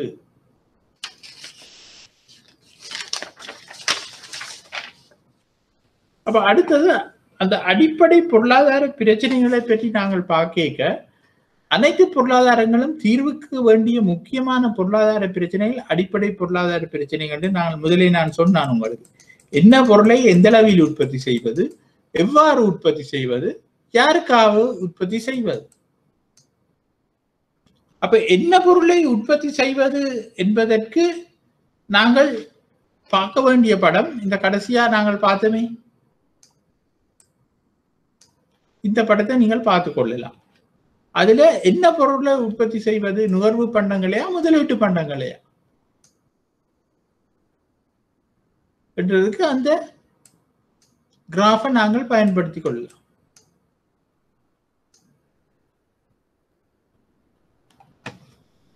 சரிங்களா? அதற்கு பதிலாக நீங்கள் அந்த முதலீட்டு பண்ண நுகர்வு பண்டம் பண்றதுக்கு பதிலாக அதுல நீங்கள் இப்படி பார்ப்போமே இந்த இந்த படத்தை பாருங்க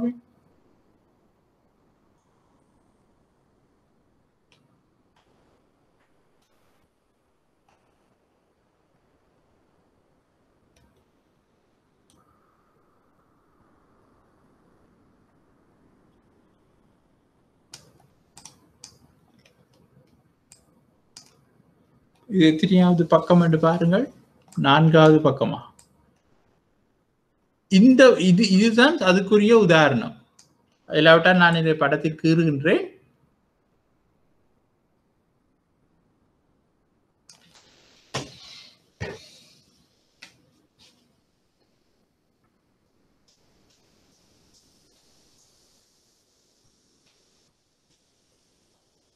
என்ன பொருளை உற்பத்தி செய்வது என்பது நாங்கள் ஆரம்பத்திலேயே பார்த்த ஒரு விடயம்.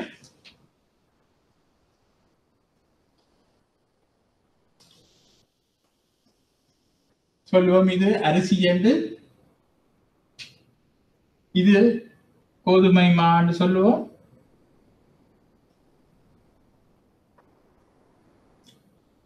அப்ப என்ன பொருளை உற்பத்தி செய்ய வேண்டும் என்பது? இந்த ஏ என்ற புள்ளியும் இந்த பி என்ற புள்ளியும். இல்லாட்டா இந்த கோட்டியில் உள்ள ஏதாவது ஒரு புள்ளியை நாங்கள் தீர்மானிச்சு கொள்ளலாம். இதுக்குத்தான் இந்த கிராஃப் தான்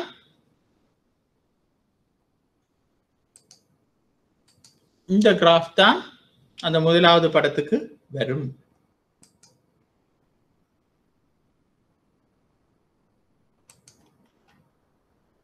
அடுத்தது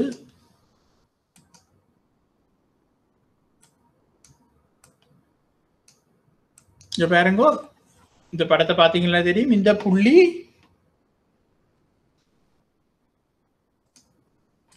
இந்த படத்தை பாருங்க. இந்த புள்ளி ஏயில் ஒரு சேர்க்கையும்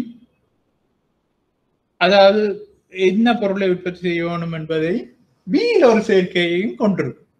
அதில் எதை நாங்கள் உற்பத்தி செய்வது என்பதை பந்தை பொருளாதாரம் என்றால் விலை பொறிமுறையும் அரச பொருளாதாரம் என்றால் அதற்கு மத்திய குழு அதுகளும் தீர்மானங்களை மேற்கொள்ளும். அடுத்தது எவ்வாறு உற்பத்தி செய்ய வேண்டிய வேண்டும் என்பதை இந்த படத்துல பாருங்க. அதாவது நாங்கள் என்னத்தை கொண்டு நாங்கள் அதை பயன்படுத்த போடுறோம் இயந்திரங்களை கொண்டு பயன்படுத்துறதா மனித உழைப்பை கொண்டு பயன்படுத்துகிறதா? அப்ப பாருங்க எக்ஸ் வையச்ச இயந்திரம் என்று எடுக்கலாம். எக்ஸ் அச்ச மனித உழைப்பு எடுக்கலாம்.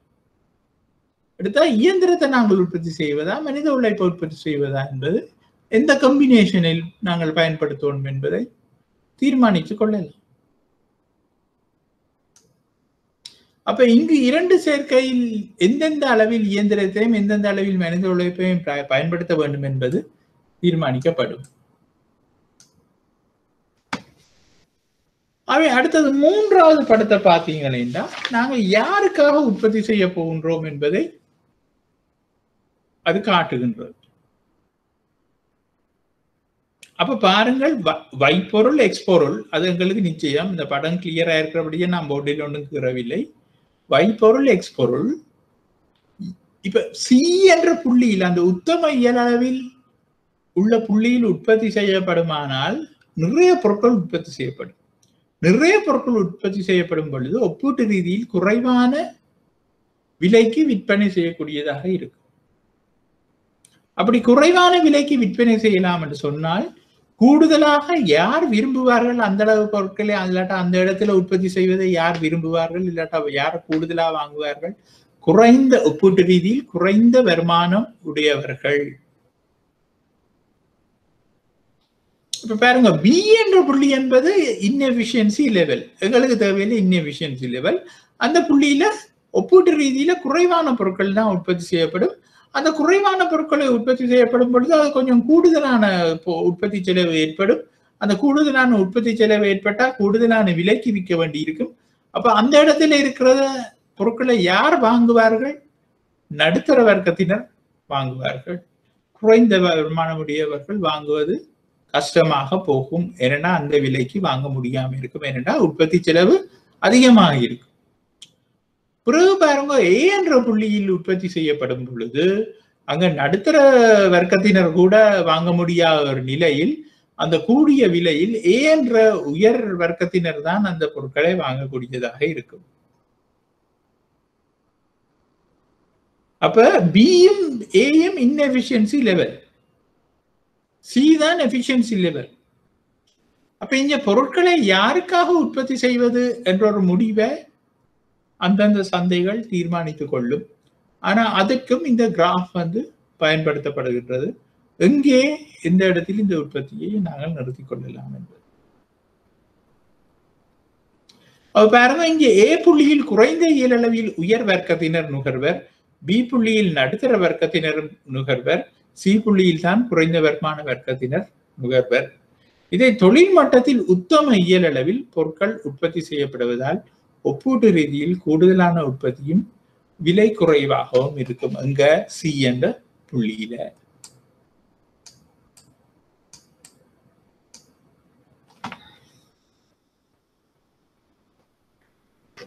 அது இதோட இந்த உற்பத்தி சாத்திய வளைகோடு என்ற பிரச்சனை எங்களுக்கு முடிகின்றது.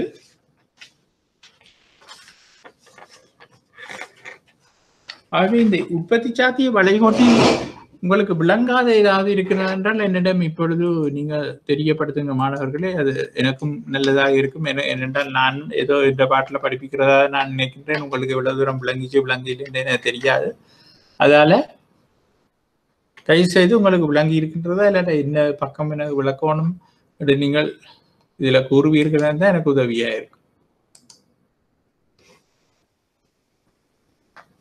அதுக்குள்ள நிறைய கிராஃப் இருக்கின்றது.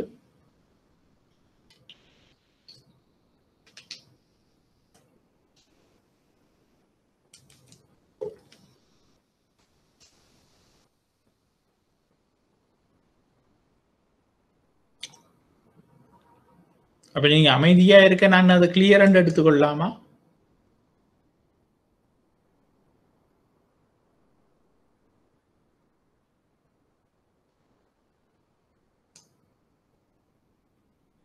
ஒரு பதிலும் இல்லை. கிளியர் எடுத்துக்கொள்ளலாமா? பிரகாஜினி சொல்லி இருக்கின்றா தனக்கு கிளியரா இருக்கிறான் என்று. மற்றவர்கள்?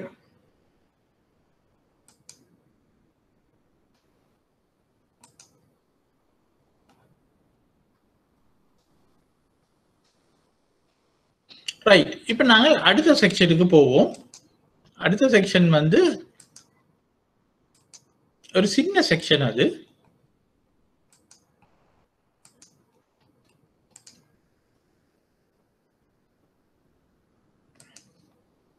தொழிற்பிரிப்பு. தொழிற்பிரிப்பு என்று சொன்னா என்ன? ஒரு தொழில நாங்கள் பிரிச்சு பிரிச்சு செய்கிறது. உதாரணமாக நாங்கள் சொல்ல போனால் இப்போ ஒரு கார் உற்பத்தியை எடுத்துக்கொண்டா அந்த கார் உற்பத்தியை உற்பத்தி செய்வதற்கு இப்போ ஒரு பத்து பேரை நாங்கள் எடுக்கிறோம்னு வைப்போம். பத்து பேரை எடுத்துக்கொண்டு வந்து கார் உற்பத்தி செய்வதற்கு நாங்கள் அந்த பகுதி பகுதிகளாக பார்த்தா டயர் உற்பத்தி செய்ய வேண்டி இருக்கும் என்ஜின் உற்பத்தி செய்ய வேண்டி இருக்கும் செசி உற்பத்தி செய்ய வேண்டியிருக்கும் அதன் பாடி பாடி என்று சொல்லப்படுகின்ற door windows doors doors glasses bonnet பின்பக்கம் இருக்கிற பேக்கின்ற அந்த பாடி இதுகள் உற்பத்தி செய்ய வேண்டி இருக்கும் பிறகு இன்டீரியர் ஒர்க்ஸ் அப்போ இப்படி பார்த்தா ஆறு ஏழு டிவிஷன்கள் இருக்கின்றன. அப்போ தொழிற்பிரிப்பு என்பது என்னன்னு சொன்னால் இந்த பத்து பேரை நான் பத்து பேரை வச்சுக்கொண்டு ஒரு காரை உற்பத்தி செய்ய வலிக்கிட்டால் அதுக்கு சில நேரங்களில் ஒரு ரெண்டு மாதம் மூன்று மாதம் செல்லலாம்.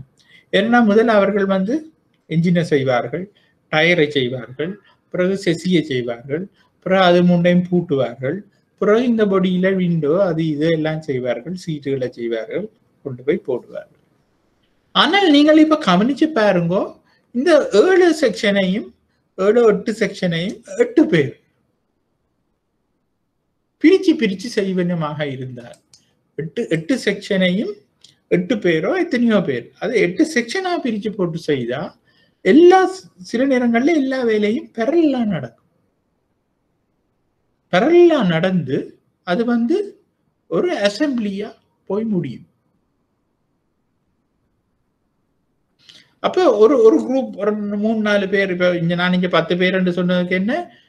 ரெண்டு பேர் என்ஜினை ப்ரிப்பேர் பண்ணி கொண்டிருப்பினோம் ரெண்டு பேர் சிசியை ப்ரிப்பேர் பண்ணி கொண்டிருப்பினோம் ரெண்டு பேர் டயரை ப்ரிப்பேர் பண்ணி கொண்டிருப்பினோம் ரெண்டு பேர் பொடியை ப்ரிப்பேர் பண்ணி கொண்டிருப்பினோம் ரெண்டு பேர் இன்டீரியர் ஒர்க்கை ப்ரிப்பேர் பண்ணணும்னு சொல்லுவோமே. அஞ்சா பிரிச்சு. அப்ப இந்த பத்து பேரும் சேர்ந்து இந்த அவ்வளவு வேலைகளை முடிக்கிறதுல பார்க்க இந்த அஞ்சு டிவிஷனா பிரிச்சு போட்டு ரெண்டு ரெண்டு பேர் செய்தா அது எவ்வளவோ விரைவாக செய்திடலாம்ன்றதுதான் ப்ராக்டிக்கல் உதாரணத்துக்கு சொல்லுவோம். அடம் ஸ்பீக் அந்த நான் அன்றைக்கு கதைச்சு நான் முதலாவது கிளாஸ்ல தேசங்களின் செல்வம் என்ற ஒரு விடயத்தை காய்ச்சி கொண்டிருக்கும் பொழுது அடம் ஸ்பீக் இந்த தொழில் பிரிப்பை பற்றி கதைக்கிறார். அவர் அந்த அவருடைய நம்பர்ஸ் எல்லாம் நான் மறந்துட்டேன். ஆனால் அவர் சொல்றாரு என்னன்னா அங்க வந்து ஒரு குண்டூசி தயாரிக்கிற ஒரு உற்பத்தியை எடுக்க எடுக்கிறார் எடுத்து அதுல வந்து ஒருத்தன் வந்து இருந்து குண்டூசியை செய்ய வலிக்கிட்டா ஒரு நாளைக்கு அறுபது குண்டூசிக்கு மேல செய்ய இயலாது ஏதோ எனக்கு ஞாபகம் இல்லை. நீங்கள் வேணும்னா ரிஃபர் பண்ணி பார்க்கலாம். ஆனா இதுதான் அந்த உண்மை. அறுபது குண்டூசிகளை என்று சொல்லுகின்ற அதுவே பத்து பேர் சேர்ந்து பத்து பேர் சேர்ந்து குண்டுசி செய்ய வெளிக்கிட்டா ஒருத்தன் கம்பியை இதன் நிமித்துறது ஒருத்தன் ஷேப் ஆக்குறது மற்றவன் அடிக்கிறது ஏதோ அப்படி பத்து பேர் சேர்ந்து அதை பிரிச்சு பிரிச்சு செய்தால் ஒரு நாளைக்கு மூவாயிரத்தி இரநூறு குண்டூசிகளை செய்யலாம் என்று அவர் சொல்றார். அந்த தேசங்களின் செல்வம் என்ற நூல்ல சொல்றார். அப்போ பத்து பேருக்கு மூவாயிரத்தி இரநூறு குண்டூசிகளை செய்யலாம்னா ஒருத்தர் முன்னூத்தி அறுபது குண்டூசிகளை செய்யலாம். ஆனால் அவனே தனியா செய்ய வலிக்கிட்டா அறுபது குண்டூசிகளுக்கு மேல செய்யலாதுன்றதுதான் அவர் அதுல சொன்ன அந்த தொழிற்சிறப்பு தேர்ச்சி என்றதுன்ற ஒரு முக்கியத்துவம். அந்த சிறப்பு தேர்ச்சி எப்படி வருகிறது என்று சொன்னால் இந்த தொழிற்பிரிப்பின் ஊடாக. தொழிற்பிரிப்புக்குரிய இங்கிலீஷ் என்ன டிவிஷன் ஆஃப் லேபர் என்று சொல்லுவீங்க. இன்றைக்கு ஜப்பான்ல நீங்கள் பார்த்தீங்களேன்னா இப்ப ஒரு ஒரு ஒரு கார் கம்பெனியை எடுத்துக்கொண்டா சில நேரங்கள்ல இந்த கார் கம்பெனியின் பார்ட்ஸ்கள் வந்து சில வெளிநாடுகளில் இருக்கிற ஃபேக்டரியிலேயே அவர்கள் உற்பத்தி செய்ய சொல்லுகின்றார்கள். ஆர்டர் பண்ணி எடுக்கின்றார்கள். அப்ப அசம்பிளிங் மட்டும் ஒரு இடத்துல நடக்கும். மற்ற பார்ட்ஸ்கள் எல்லாம் வெவ்வேறு இடத்துல நடக்கும். முக்கியமான ஸ்பெசிஃபிகேஷன்ஸ் கொடுக்கப்பட்டிருக்கு பெரும்பாலும் அந்த பார்ட்ஸுகளை செய்கிற கம்பெனிகளும் இந்த மெயின் கம்பெனி உதாரணமாக டொயோட்டான்னு எடுத்துக்கொண்டா டொயோட்டா கம்பெனி சப்சிடியரி கம்பெனிஸாக தான் இருக்கும். அப்போ இந்த காருக்குரிய ஒரு டிசைன் பண்ணி போட்டு அதுக்குரிய ஸ்பெசிஃபிகேஷனுக்கு ஏற்ற மாதிரி எல்லாம் ப்ரிப்பேர் பண்ணி வரும் வந்தவொடனே டக் டக்குன்னு சம்பளம் பண்ணுறோம் அதான் இன்றைக்கு சொல்லுவினம் ஜப்பானில் உற்பத்தி செய்யப்படுகின்ற பொருட்கள் வந்து Um, ஸ்டோரேஜ் பண்ண வழிக்கிட்டா ஜப்பானையும் இடம் காணாதுன்ற மாதிரி சொல்லிடும். அப்போ வெளிநாடுகள்ல இருந்து கப்பல்ல வருது உடனே அசம்பிள் பண்ணியாச்சு உடனே கப்பல்ல ஏற்றியாச்சு அப்ப இதெல்லாம் இந்த சிறப்பு தேர்ச்சியின் மூலமாக ஏற்பட்ட ஒன்று என்றுதான் சொல்லப்படுகின்றது. அப்ப பாருங்க தொழிற்பிரிப்புண்டா என்னன்னு பார்ப்போம். குறித்த ஒரு உற்பத்தியை பல கூறுகளாக வகைப்படுத்தி ஒவ்வொரு கூறுகளையும் வெவ்வேறு தொழிலாளரை கொண்டு உற்பத்தி செய்து குறித்த உற்பத்தியை முழுமைப்படுத்துகின்ற செயற்பாடு தான் தொழிற்பிரிப்பு என்று சொல்லுகின்றோம். அப்ப இயலுமான மட்டும் நாங்கள் ஒரு ஃபினிஷ் குட்ஸ் என்று சொன்னா அதன் ப- பகுதி பகுதிகளாக பிரித்து நாங்கள் உற்பத்தி செய்யப்பட்டு அசெம்பிள் பண்றது வெரி ஈஸி அண்ட் சிம்பிள் அப்ப இதால ஏற்படுற அனுகூலங்கள் என்ன எங்களுக்கு? சிறப்பு தேர்ச்சி ஏற்பட அப்போ சிறப்பு தேர்ச்சி ஏற்படுகின்றது. அதுதான் சொல்றது ஸ்பெஷலைசேஷன் என்று சொல்லுவோம். இப்போ இந்த ஸ்பெஷலைசேஷன் தான் நிறைய எங்கட நாட்டில் எங்கட இந்த இந்த உலகத்தில் நிறைய வந்துட்டுது. உதாரணமாக இப்போ நீங்கள் டிகிரி கோர்ஸ்கள் எடுத்து இப்போ இந்த பேங்கிங்ன்றதும் ஒரு ஸ்பெஷலைசேஷன் தான். பேங்கிங்ன்றதும் ஒரு ஸ்பெஷலைசேஷன் என்னென்ன ஸ்பெஷலைசேஷன் என்று சொல்லுகின்றோம்? நாங்கள் banking towards going to banking எங்களுடைய முக்கிய நோக்கம் இந்த வங்கியியல் தொடர்பான முழு அறிவையும் பெற்றுக்கொள்வது அதுக்கு தேவையானபடியே தான் இந்த பேசிக் எக்கனாமிக்ஸையும் நாங்கள் படிக்கின்றோம். அதே மாதிரி எம்பிஏ படிக்கின்றோம். அதில் finance special in finance specialize in marketing specialize in ஒவ்வொரு பாடங்கள் இருக்கின்றன. Human rights sorry human rights இல்லை ஹியூமன் ரிசோர்ஸ் ஹெச்ஆர் அப்போ அப்படியான இதுகளை நாங்கள் ஸ்பெஷலைஸ் பண்ணி கொண்டு போவது அந்த ஸ்பெஷலான இடங்கள்லேயே வேலை செய்வது இந்த ஹோல் இண்டஸ்ட்ரிக்கும் ஹோல் இண்டஸ்ட்ரியின் வளர்ச்சிக்கும் லேசாக இருக்கின்றது. அதை நாங்கள் விளங்கிக் கொள்வோம். அது வந்து பிரசன்ட் வேர்ல்டில் மிகவும் ஒரு பெரிய அளவிலையும் முக்கியமாகவும் இருக்கின்றது என்பதை நாங்கள் சொல்லிக்கொள்ளலாம் அப்போ உற்பத்தி வேகம் அதிகரிக்கும் இதால. உற்பத்தியின் தரம் உயர்வடைவது என்னென்று சொன்னால் கன்சன்ட்ரேஷன் கூடுதலாக இருக்கு. ஸ்பெஷலைஸ் செய்கிறவர் வந்து அதை பற்றி நிறைய படிக்கின்றார். அதை பற்றி நிறைய ஆராய்ச்சி செய்து அதன் மூலமாக கூடுதலான தரமுடைய பொருட்களை உற்பத்தி செய்வதற்கு முயற்சிக்கின்றார்கள். சயின்டிஸ்ட் யோசிக்கின்றார்கள். அதனால உற்பத்தியின் வேகம் அதிகரிக்கும். அந்த ரிசர்ச் நடக்கும் பொழுது அவர்கள் பார்ப்பார்கள் இது இதுக்கு பதிலாக நாங்கள் இதை பாவிச்சா சில குறைவா இருக்குமே இதுக்கு பதிலாக இதை பாவிச்சா பிரயோசனமாக இருக்குமே என்று. வளங்களின் விலை திறன் வினை திறன் எல்லாம் அதிகரிக்கும். உதாரணமா நீங்கள் இந்த இப்ப ஒரு காரையே எடுத்துக்கொண்டால் ஒரு காரையே எடுத்துக்கொண்டால் ஒரு இருபது வருடங்களுக்கு முதல் இருந்த அளவு கார் இல்லை. இப்ப அந்த கார்கள்ல முன்னுக்கு சென்சர் எல்லாம் பூட்டி இருக்கும் இப்ப வர கார்கள்ல. அப்ப நீங்கள் காரை எங்கேயா கொண்டு போய் கிட்ட வச்சு திரு திரு திரு திரு திருப்புறீங்க இல்லாட்டா கிட்ட இன்னொரு வாகனம் நிக்குதுன்னா இது சத்தம் போடும். ஆனா இருபது வருஷத்துக்கு முதல் அப்படி இல்லை. இருபது வருஷத்துக்கு முதல் அந்த அந்த மூலையில எல்லாம் அந்த ரப்பர் இதுகள் எல்லாம் ஒட்டி கிட்டி இருக்குமேன்னா முட்டுப்பட்டாலும் அந்த ரப்பர்ல முட்டுப்படும் டேமேஜ் வராது பின்னுக்கு ரிவர்ஸ் கேமரா எல்லாம் பூட்டி இருக்கு இப்ப கார்கள்ல. இப்ப கார்களுக்கு எல்லாம் ஆட்டோ ஸ்டார்ட் இருக்கிறது முந்தி செமி ஆப்ஷன் என்று சொல்லுவார்கள். அது திறப்ப நீங்க கையில் எடுத்து தான் லாக் பண்ணணும் கதவை. அப்ப என்ன நடக்க வேண்டாம் நிறைய ஆக்கள் திறப்ப உள்ளுக்கு விட்டுட்டு லாக் பண்ணி போட்டு போயிடும். அது பெரிய தலையடியாக இருக்கும். அப்படி லாக் பண்ணி விட்டார் அப்புறம் அந்த திறப்பை எடுப்பது. அப்ப அது மட்டுமல்ல இப்ப என்னன்னு சொன்னால் இப்ப நீங்கள் ஏதாவது ஒரு லைட் ஆஃப் பண்ணாமலோ இல்லாட்டா ஏதோ ஒரு வகையில ஏதாவது ஒன்று செய்யாம நீங்கள் காரை மூடி போட்டு போனீங்கன்னா கார் லாக் பண்ணப்படாது. அப்ப இதுகள் எல்லாம் வந்து ஸ்பெஷலைசேஷன் இதுகள் எல்லாம் வந்து ஸ்பெஷலைசேஷன் என்று சொல்லப்படுகின்றது.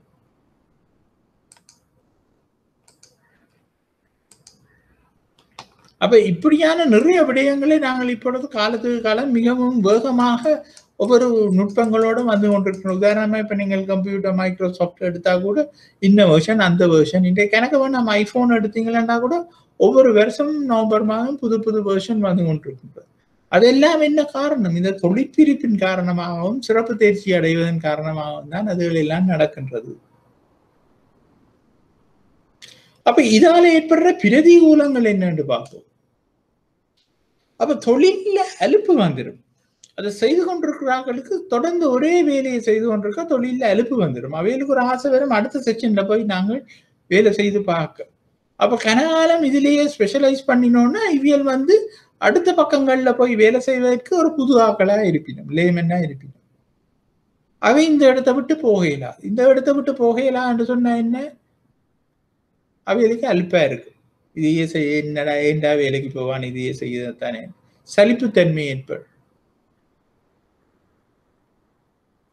அப்ப தொழில் சார்ந்த நோய் ஏற்படும். உதாரணமா தொழில் சார்ந்த நோய்னா சில இடங்கள்ல வேலை செய்யும் பொழுது சில அந்த இடங்கள்ல வேலை செய்வதால சில சில கெமிக்கல்ஸ் ரியாக்ஷன்கள் ரேடியேஷன் அதுகளால சில சில வருத்தங்கள் வர பார்க்கும்.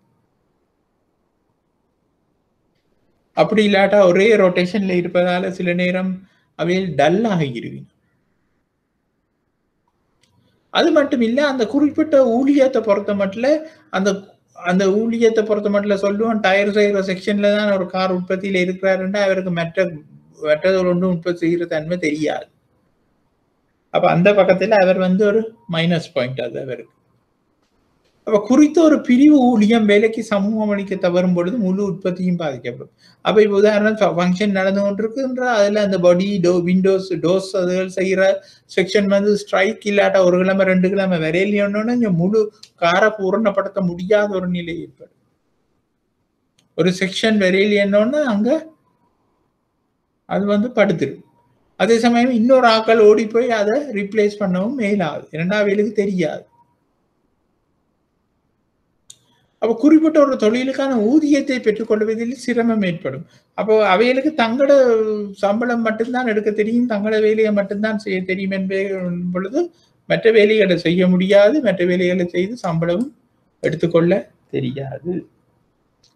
அவை குறித்த ஒரு உற்பத்தியில் ஒரு ஊழியம் தொடர்ச்சியாக அதாவது சிறப்பு தேர்ச்சி என்ன என்னன்னு சொன்னா குறிப்பு ஒரு குறிப்பிட்ட ஒரு உற்பத்தியில் ஒரு ஊழியம் தொடர்ச்சியாக ஈடுபடுவதன் மூலம் அவ் உற்பத்தி தொடர்பாக அவ்வூழியம் பெற்றுக்கொள்ளுகின்ற விசேட ஆற்றல் அறிவு நிபுணத்துவம் அனுபவம் என்பவற்றை உள்ளடக்கியதான் சிறப்பு தேர்ச்சி என்று நாங்கள் சொல்லுகின்றோம். அப்ப இதைத்தான் நாங்கள் ப்ரொடக்ஷன் பாசிபிலிட்டி கர்வ் என்று சொல்லுகின்றோம். அப்ப இதோட அந்த செக்ஷன் நிறைவு பெறுகின்றது. நாங்கள் இப்ப அடுத்ததாக நாங்கள் பார்க்க போகிறது இன்னும் ஒரு ஆஃப் அன் அவர் இருக்கிறபடியே நாங்கள் நுகர்வோர் பயனை பற்றி நாங்கள் பார்க்க போகின்றோம். அவர் நுகர்வோர் பயனை பற்றி நாங்கள் பார்க்க போகின்றோம் என்று சொன்னால் மாணவர்களை இதுவரை நீங்க படிச்சது கிளியரா எனக்கு வேணும் ஃபர்ஸ்ட் செக்ஷன்ல நாங்க போன கிளாஸ் நாங்க படிச்சது வந்து அதை பற்றி விளங்கப்படுத்துற ஒரு விடயமாகத்தான் இருந்தது. அது நீங்கள் விளங்கியிருக்க தான் வேணும். ஆனா அதிலும் பார்க்க முக்கியம் நீங்கள் இன்றைக்கு நீங்கள் விளங்கின விடயம்.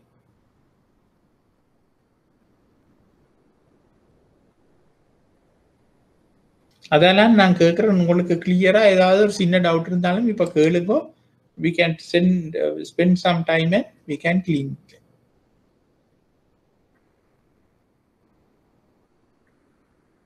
பிரச்சனை இல்லையா? ஓகேயா அடுத்த செஷனுக்கு போவோமா?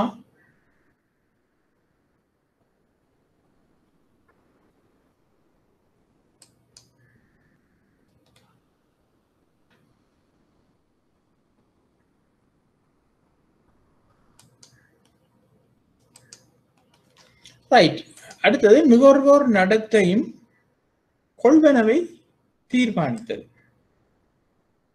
அப்ப பாருங்க நாங்கள் இந்த நோட்ஸை பார்த்து கொண்டு போவோம். நுண்பாக பொருளியலில். அப்ப நுண்பாக பொருளியல் என்ன? இப்ப உங்களுக்கு எல்லாருக்கும் தெரியணும் நுண்பாக பொருளியல் என்னண்டு? என்னன்னு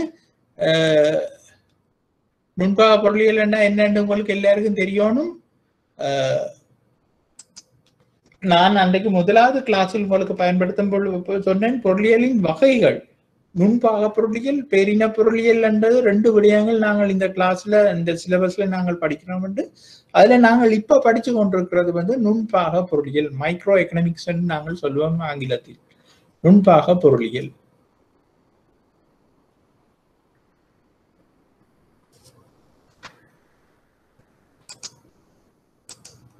அப்ப நுண்பா பொருளியலில் குறிப்பிட்டதொரு பண்டத்தின் அல்லது பணியின் சந்தை விலை தீர்மானிக்கப்படுதல் அரச கட்டுப்பாடுகளற்ற சுதந்திர சந்தை ஒன்றில் விலை தீர்மானிக்கப்படுகின்ற விதத்திலேயே ஆராயப்படுகின்றது. அப்ப நாங்கள் இப்ப கொஞ்சம் கொஞ்சமா இந்த மத்திய அரச பொருளாதாரம் கலப்பு பொருளாதாரம் எல்லாத்தையும் நாங்கள் கைவிட்டு கொஞ்சம் கொஞ்சமா நாங்கள் இப்ப சந்தை பொருளாதாரத்துக்குள்ள நுழைஞ்சு கொண்டிருக்கிறோம். இப்ப நாங்கள் சந்தை பொருளாதாரத்தை தான் நாங்கள் படிச்சு கொண்டிருக்கிறோம். மற்றதுகளும் மறந்துடுங்க அப்ப சந்தை பொருளாதாரத்துல நான் உங்களுக்கு இன்றைக்கும் சொன்னேன் அன்றைக்கும் சொன்னேன் என்ன? விலை பொறிமுறை விலைதான் தீர்மானிக்கின்றது. ஒரு பொருள்ல என்ன பொருளை உற்பத்தி செய்ய வேண்டும்? எவ்வளவு உற்பத்தி செய்ய வேண்டும்? எவ்வாறு உற்பத்தி செய்ய வேண்டும்? யாருக்காக உற்பத்தி செய்ய வேண்டும் என்ற எல்லாத்தையும் விலைதான் தீர்மானிக்கின்றது. அந்த அடிப்படையில் அரச கட்டுப்பாடுகளற்ற சுதந்திர சந்தை உண்டு அப்ப நாங்கள் இப்ப பாக்குறோம் வந்து இந்த சந்தை பொருளாதாரத்துல அரச கட்டுப்பாடுகளும் இல்லைன்னு சொல்றோம். சுதந்திர சந்தை ஒன்றில் விலை தீர்மானிக்கப்படுகின்ற விதத்திலேயே ஆராயக்கப்படுகின்றது எல்லாம். அப்ப கேள்வி மற்றும் நிரம்பல் சக்திகளின் அடிப்படையில் விலை தீர்மானிக்கப்படும்.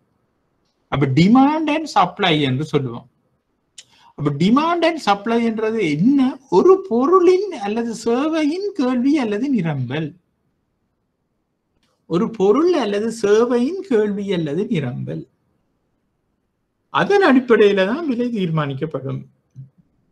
அப்ப கேள்வி மற்றும் நிரம்பல் சக்திகள் பல்வேறான காரணிகளின் அடிப்பட்டு தீர்மானிக்கப்படும். சாரி கேள்வி மற்றும் நிரம்பல் சக்திகள் பல்வேறான காரணிகளின் அடிப்படையில் தீர்மானிக்கப்படும். ஒரு கேள்வியாளர் நுகர்வு பண்டம் ஒன்றை கொள்வனவு செய்வதற்கு தீர்மானிக்கின்ற பொருளியல் ரீதியான பின்னணியை தான் நாங்கள் இப்ப இதுல தாரோம். அப்போ ஒரு கேள்வியாளர் ஒரு கேள்வி எழுப்புற நுகர்வோன் தன் அந்த நுகர்வு பண்டத்துக்கு கொள்வனவு செய்வதற்கு தீர்மானிக்கின்ற பொருளியல் ரீதியான பின்னணியை நாங்கள் பார்ப்போம். அதுதான் முதலாவது சொல்றது நாங்கள் யூட்டிலிட்டி அல்லது பயன்பாடு அப்போ consumer consumer utility C O N S U M E R double M இல்ல ஒரு எம்மா நுகர்வோர் பயன்பாடு கன்சியூமர் யூட்டிலிட்டி அப்ப பயன்பாடு என்பது ஒருவர் குறிப்பிட்டது ஒரு பண்டத்தை அல்லது பணியை நுகர்வு செய்கின்ற போது பெறுகின்ற உள ரீதியான திருப்தியை கருதப்படுகின்றது. அப்ப யூட்டிலிட்டி என்பது என்ன? நான் ஒரு பொருளை எடுக்க இல்லாட்டா அதை பாதி கேட்க எனக்கு கிடைக்கிற உள ரீதியான திருப்தி. உதாரணமா நான் இந்த ரைட்டிங் இது ஸ்டிக்கை நான் எடுக்கின்றேன். இங்கே பாருங்க.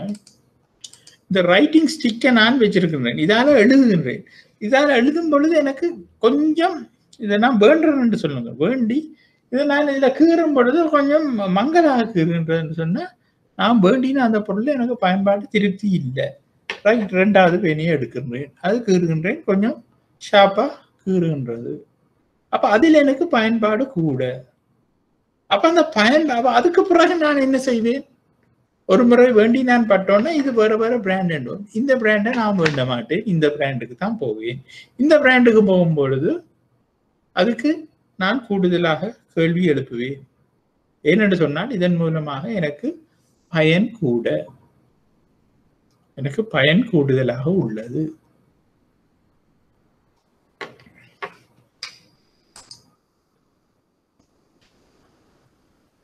அவை கருதப்பட ஒருவர் ஒரு பண்டத்தை அல்லது ப- சேவையை பணியை சேவை என்று தான் சொல்றது.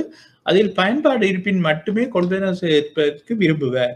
பயன்பாடு இவ்வளவுதான் என அளவிட்டு அறிவிக்க முடியாதிருப்பினும் பொருளியல் கற்களியின் போது அதனை கணிப்பிட முடியும் என்ற ஒரு அல்லது நிரல்படுத்த முடியும் என்ற கருதுகோளின் அடிப்படையில் நுகர்வோர் நடத்தை பற்றிய பகுப்பாய்வுகள் மேற்கொள்ளப்படுகின்றன. அவர் அதில் ஒரு சாட்டிஸ்ஃபேக்ஷன் இருக்கிறது என்று நாங்கள் சொல்லுகின்றோம். ஒரு பயன்படுத்தும் பொழுது அந்த சாட்டிஸ்ஃபேக்ஷனை அளவிட முடியும் என்று பொருளியல் சொல்லுது. அதாவது அது வந்து பெரிய ஒரு பெரிய இது இல்லை ஒரு அசம்ஷன் எங்களால் அளவிடலாம் என்ற ஒரு அசம்ஷன் உண்மையின்படி அளவிடலாமோ தெரியாது. ஆனால் அளவிடலாம் என்று பொருளியல் கருது கருதி கொண்டு சில கருதுகோள்களை முன்வைக்கின்றது. இதற்கிணங்க ஒரு குறிப்பிட்டது ஒரு பண்டத்தின் அல்லது பணியின் நுகர்வை ஒவ்வொன்றாக ஒவ்வொரு அலகாக அதிகரிக்கின்ற போது அவ்வாறு அதிகரிக்கப்படுகின்ற ஒவ்வொரு அலகில் இருந்தும் கிடைக்கின்ற திருத்தி படிப்படியாக குறைவடையும் என்றவாறு பொருளியல் பயன்பாட்டு கோட்பாடு கட்டியெழுப்பப்பட்டுள்ளது. இது குறைவடையும் இல்லடா குறைந்து செல்லும் பொருளியல் பயன்பாட்டு கோட்பாடு என்று சொல்லப்படுகின்றது. அதாவது குறைந்து செல்லும் எல்லை பயன் கோட்பாடு. Law of diminishing marginal utility என்று குறிப்பிடப்படுகின்றது. ஒருவர் ஒரே பண்டத்தை குறிப்பிட்டது ஒரு காலத்தினுள் தொடர்ச்சியாக நுகர்ந்து கொண்டிருப்பார் என்று சொன்னால் தொடர்ச்சியாக நுகர்ந்து கொண்டிருப்பார் என்று சொன்னால் ஒவ்வொன்றாக அதிகரித்து கொள்ளும் பொழுது அத்தகைய ஒவ்வொரு அலகின் மூலமும் அந்நபருக்கு கிடைக்கின்ற மேலதிக பயன்பாடு எல்லை பயன்பாடு என்று சொல்லப்படும். முதலாவது அலகை மிகவும் ஆசையுடன் நுகர்வு செய்வார் என்பதோடு அலகுகளின் எண்ணிக்கையை அதிகரிக்கும் போது நுகர்வு ஆசை படிப்படியாக குறைவடைதல் உள இயல்பாகும் என்பதால் குறைந்து செல்லும் எல்லை பயன்பாட்டு உள ரீதியான நிலைமைகளின் அடிப்படையில் உருவாக்கப்பட்டுள்ளது. இங்கு குறிப்பிட்டது ஒரு சந்தர்ப்பத்தின் பின்னர் எல்லை பயன்பாடு எதிர்கணிய பிரமாணத்தை பெறும் அல்லது நுகர்வில் விருப்பமின்மை ஏற்படும். இச்சந்தர்ப்பத்தில் குறித்த பண்டத்தை நுகர்வு செய்வதன் மூலம் கிடைக்கும் பயன் டோட்டல் யூட்டிலிட்டி குறைவடையும். எல்லை பயன் பூச்சிய பெருமதியை அடிவடையும் வரை மொத்த பயன் அதிகரிக்கும்.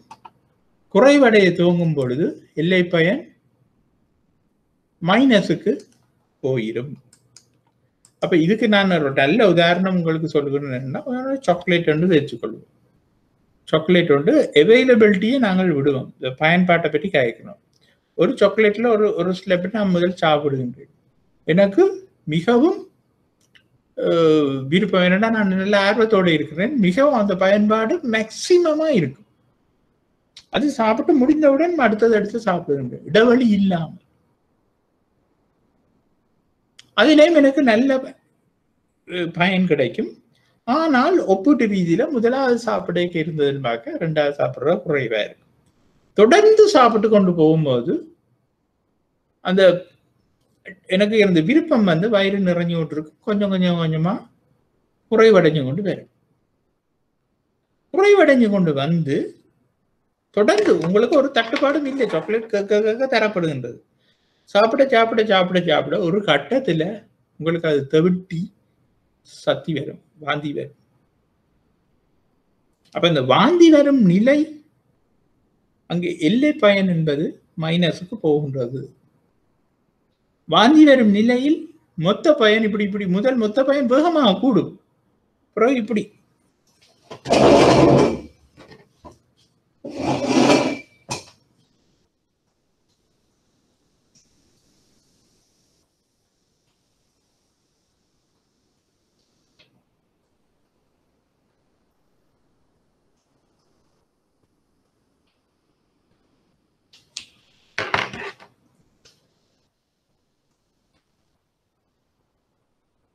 மொத்த பயன் என்பது இப்படி கூடி இப்படி இப்படி இப்படி இப்படி போய் ஒரு இடத்துல குறை எல்லை பயன் என்பது இப்படி இப்படி இப்படி கூடி ஒரு கட்டத்துல இப்படியும் மைனஸுக்கு போயிடும். இதுல இந்த மைனஸுக்கு போற பாயிண்ட் வந்து இந்த மொத்த பயன் உச்சத்துல இருக்கிற இடமா இருக்கு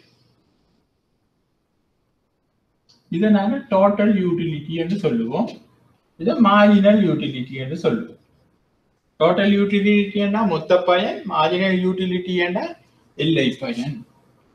இது ஏ என்று சொன்னால் இந்த புள்ளியை இல்லாட்டா எக்ஸ் என்று சொன்னா இதை பி என்று சொல்லலாம். இது ஏ என்று சொல்லி இது பி என்று சொல்லலாம். அப்ப அந்த சாக்லேட்டை சாப்பிடும் பொழுது எங்களுக்கு ஒரு கட்டத்துக்கு அங்கால ஒரு நல்ல உதாரணம். நீங்கள் கேள்விப்பட்டிருப்பீங்க இந்த ஆல்கோஹால் குடிக்கிறார்கள். அரக் இதாக குடிக்கிறார்கள். கவனிச்சு பாருங்க.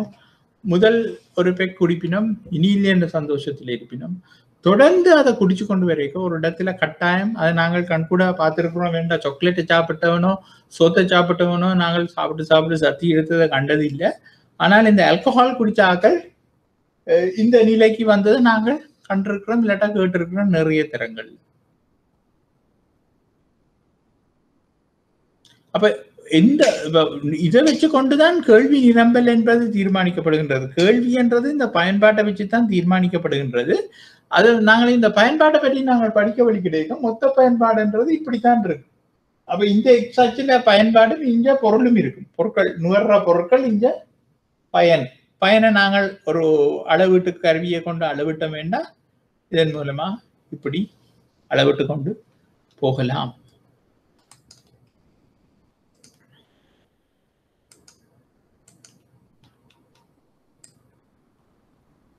அப்ப இந்த அட்டவணையை நீங்கள் பாருங்கோ. இந்த அட்டவணையின் மூலமாக வச்சுக்கொண்டு இந்த பயன் பயன் இதை நாங்கள் கீறலாம்.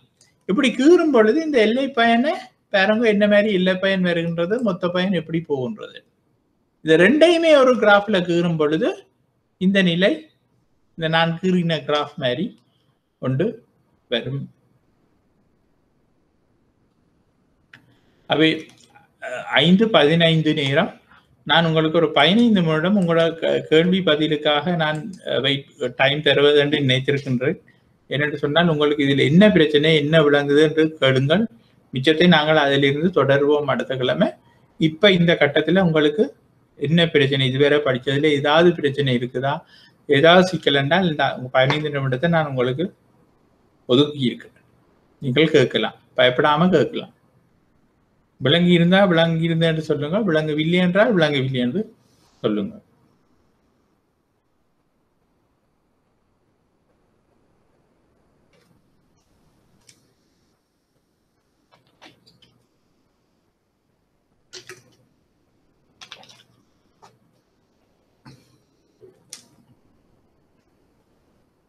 ஏதாவது கேள்வியா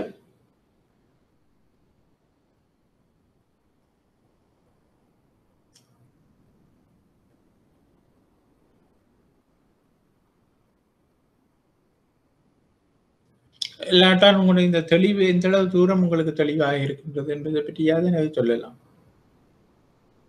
ஏதாவது ஒன்று நான் ரிப்பீட் பண்ண வேண்டி இருக்கின்றதா? இன்று படித்தது இல்லாட்டா இதுக்கு முதல் வகுப்பில் படிப்பித்ததை பற்றி ஏதாவது நான் ரிப்பீட் பண்ண இருக்குதுன்றா சொல்லுங்கள். நான் இந்த நேரத்தில் நான் அதை விளங்கப்படுத்துவதற்கு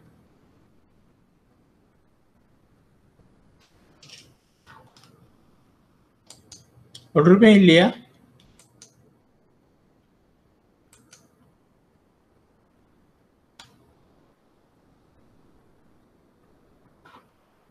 நான் நினைக்கவில்லை இன்றைக்கு என்னால் அந்த இதை இதை முடிக்கலாம் என்று. அதால் தான் நான் இதிலேயே நிப்பாட்டிட்டு உங்கள்ட்ட விளக்கத்தை கேட்போம் என்று வெளிக்கிட்டு நீங்கள் அமைதியாக இருக்கின்றீர்கள்.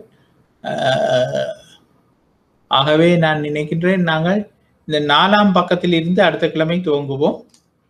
நாலாம் பக்கத்தில் இருந்து அடுத்த கிழமை துவங்கும் பொழுது ஆஹ் மற்றது எனக்கு தேவைப்படுகிறது என்னன்னு சொன்னால் உங்களுக்கு உங்களுக்கு இந்த நோட்ஸை நீங்கள் பிரிண்ட் பண்ணி எடுக்கக்கூடியதாக இருக்கிறேன் கூறுகின்றீர்கள்.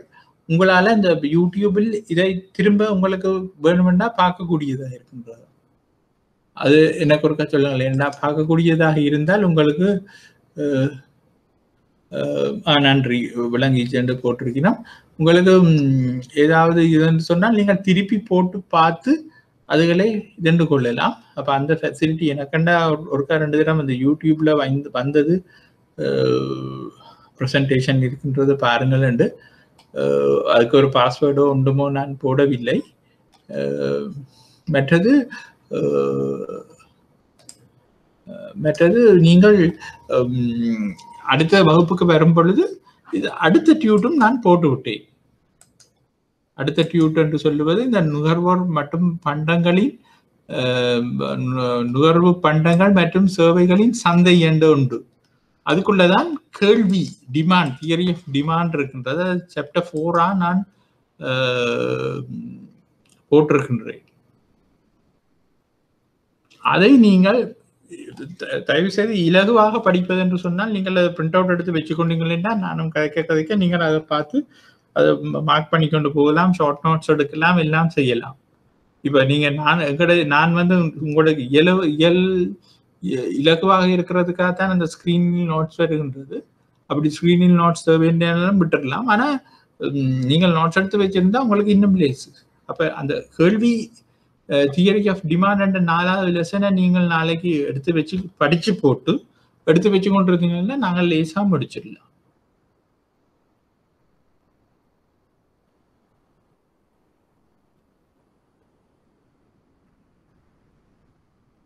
ஆகவே உங்கள்கிட்ட ஒரு கேள்விகளும் இல்லை என்ற அடிப்படையில் நான் இந்த வகுப்பை முடிவு கொண்டாரேன் அடுத்த மூன்று மூன்றரை மணிக்கு அடுத்த சனிக்கிழமை நாங்கள் சந்திப்போம்.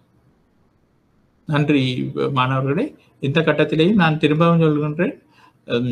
Naught seven two seven three two double zero double four. இது எனது வாட்ஸ்அப் நம்பர் ஏதாவது கேள்விகள் இருந்தால் நீங்கள் அதிலையும் கேட்கலாம். இல்லாட்டா K G D H A R A N K G D H A R A N two five seven at Gmail dot com K G D H A R A N two five seven at Gmail dot com அதுக்கு இமெயிலில் அனுப்பினாலும் என்னால் பதில் சொல்லக்கூடியதாக இருக்கும்.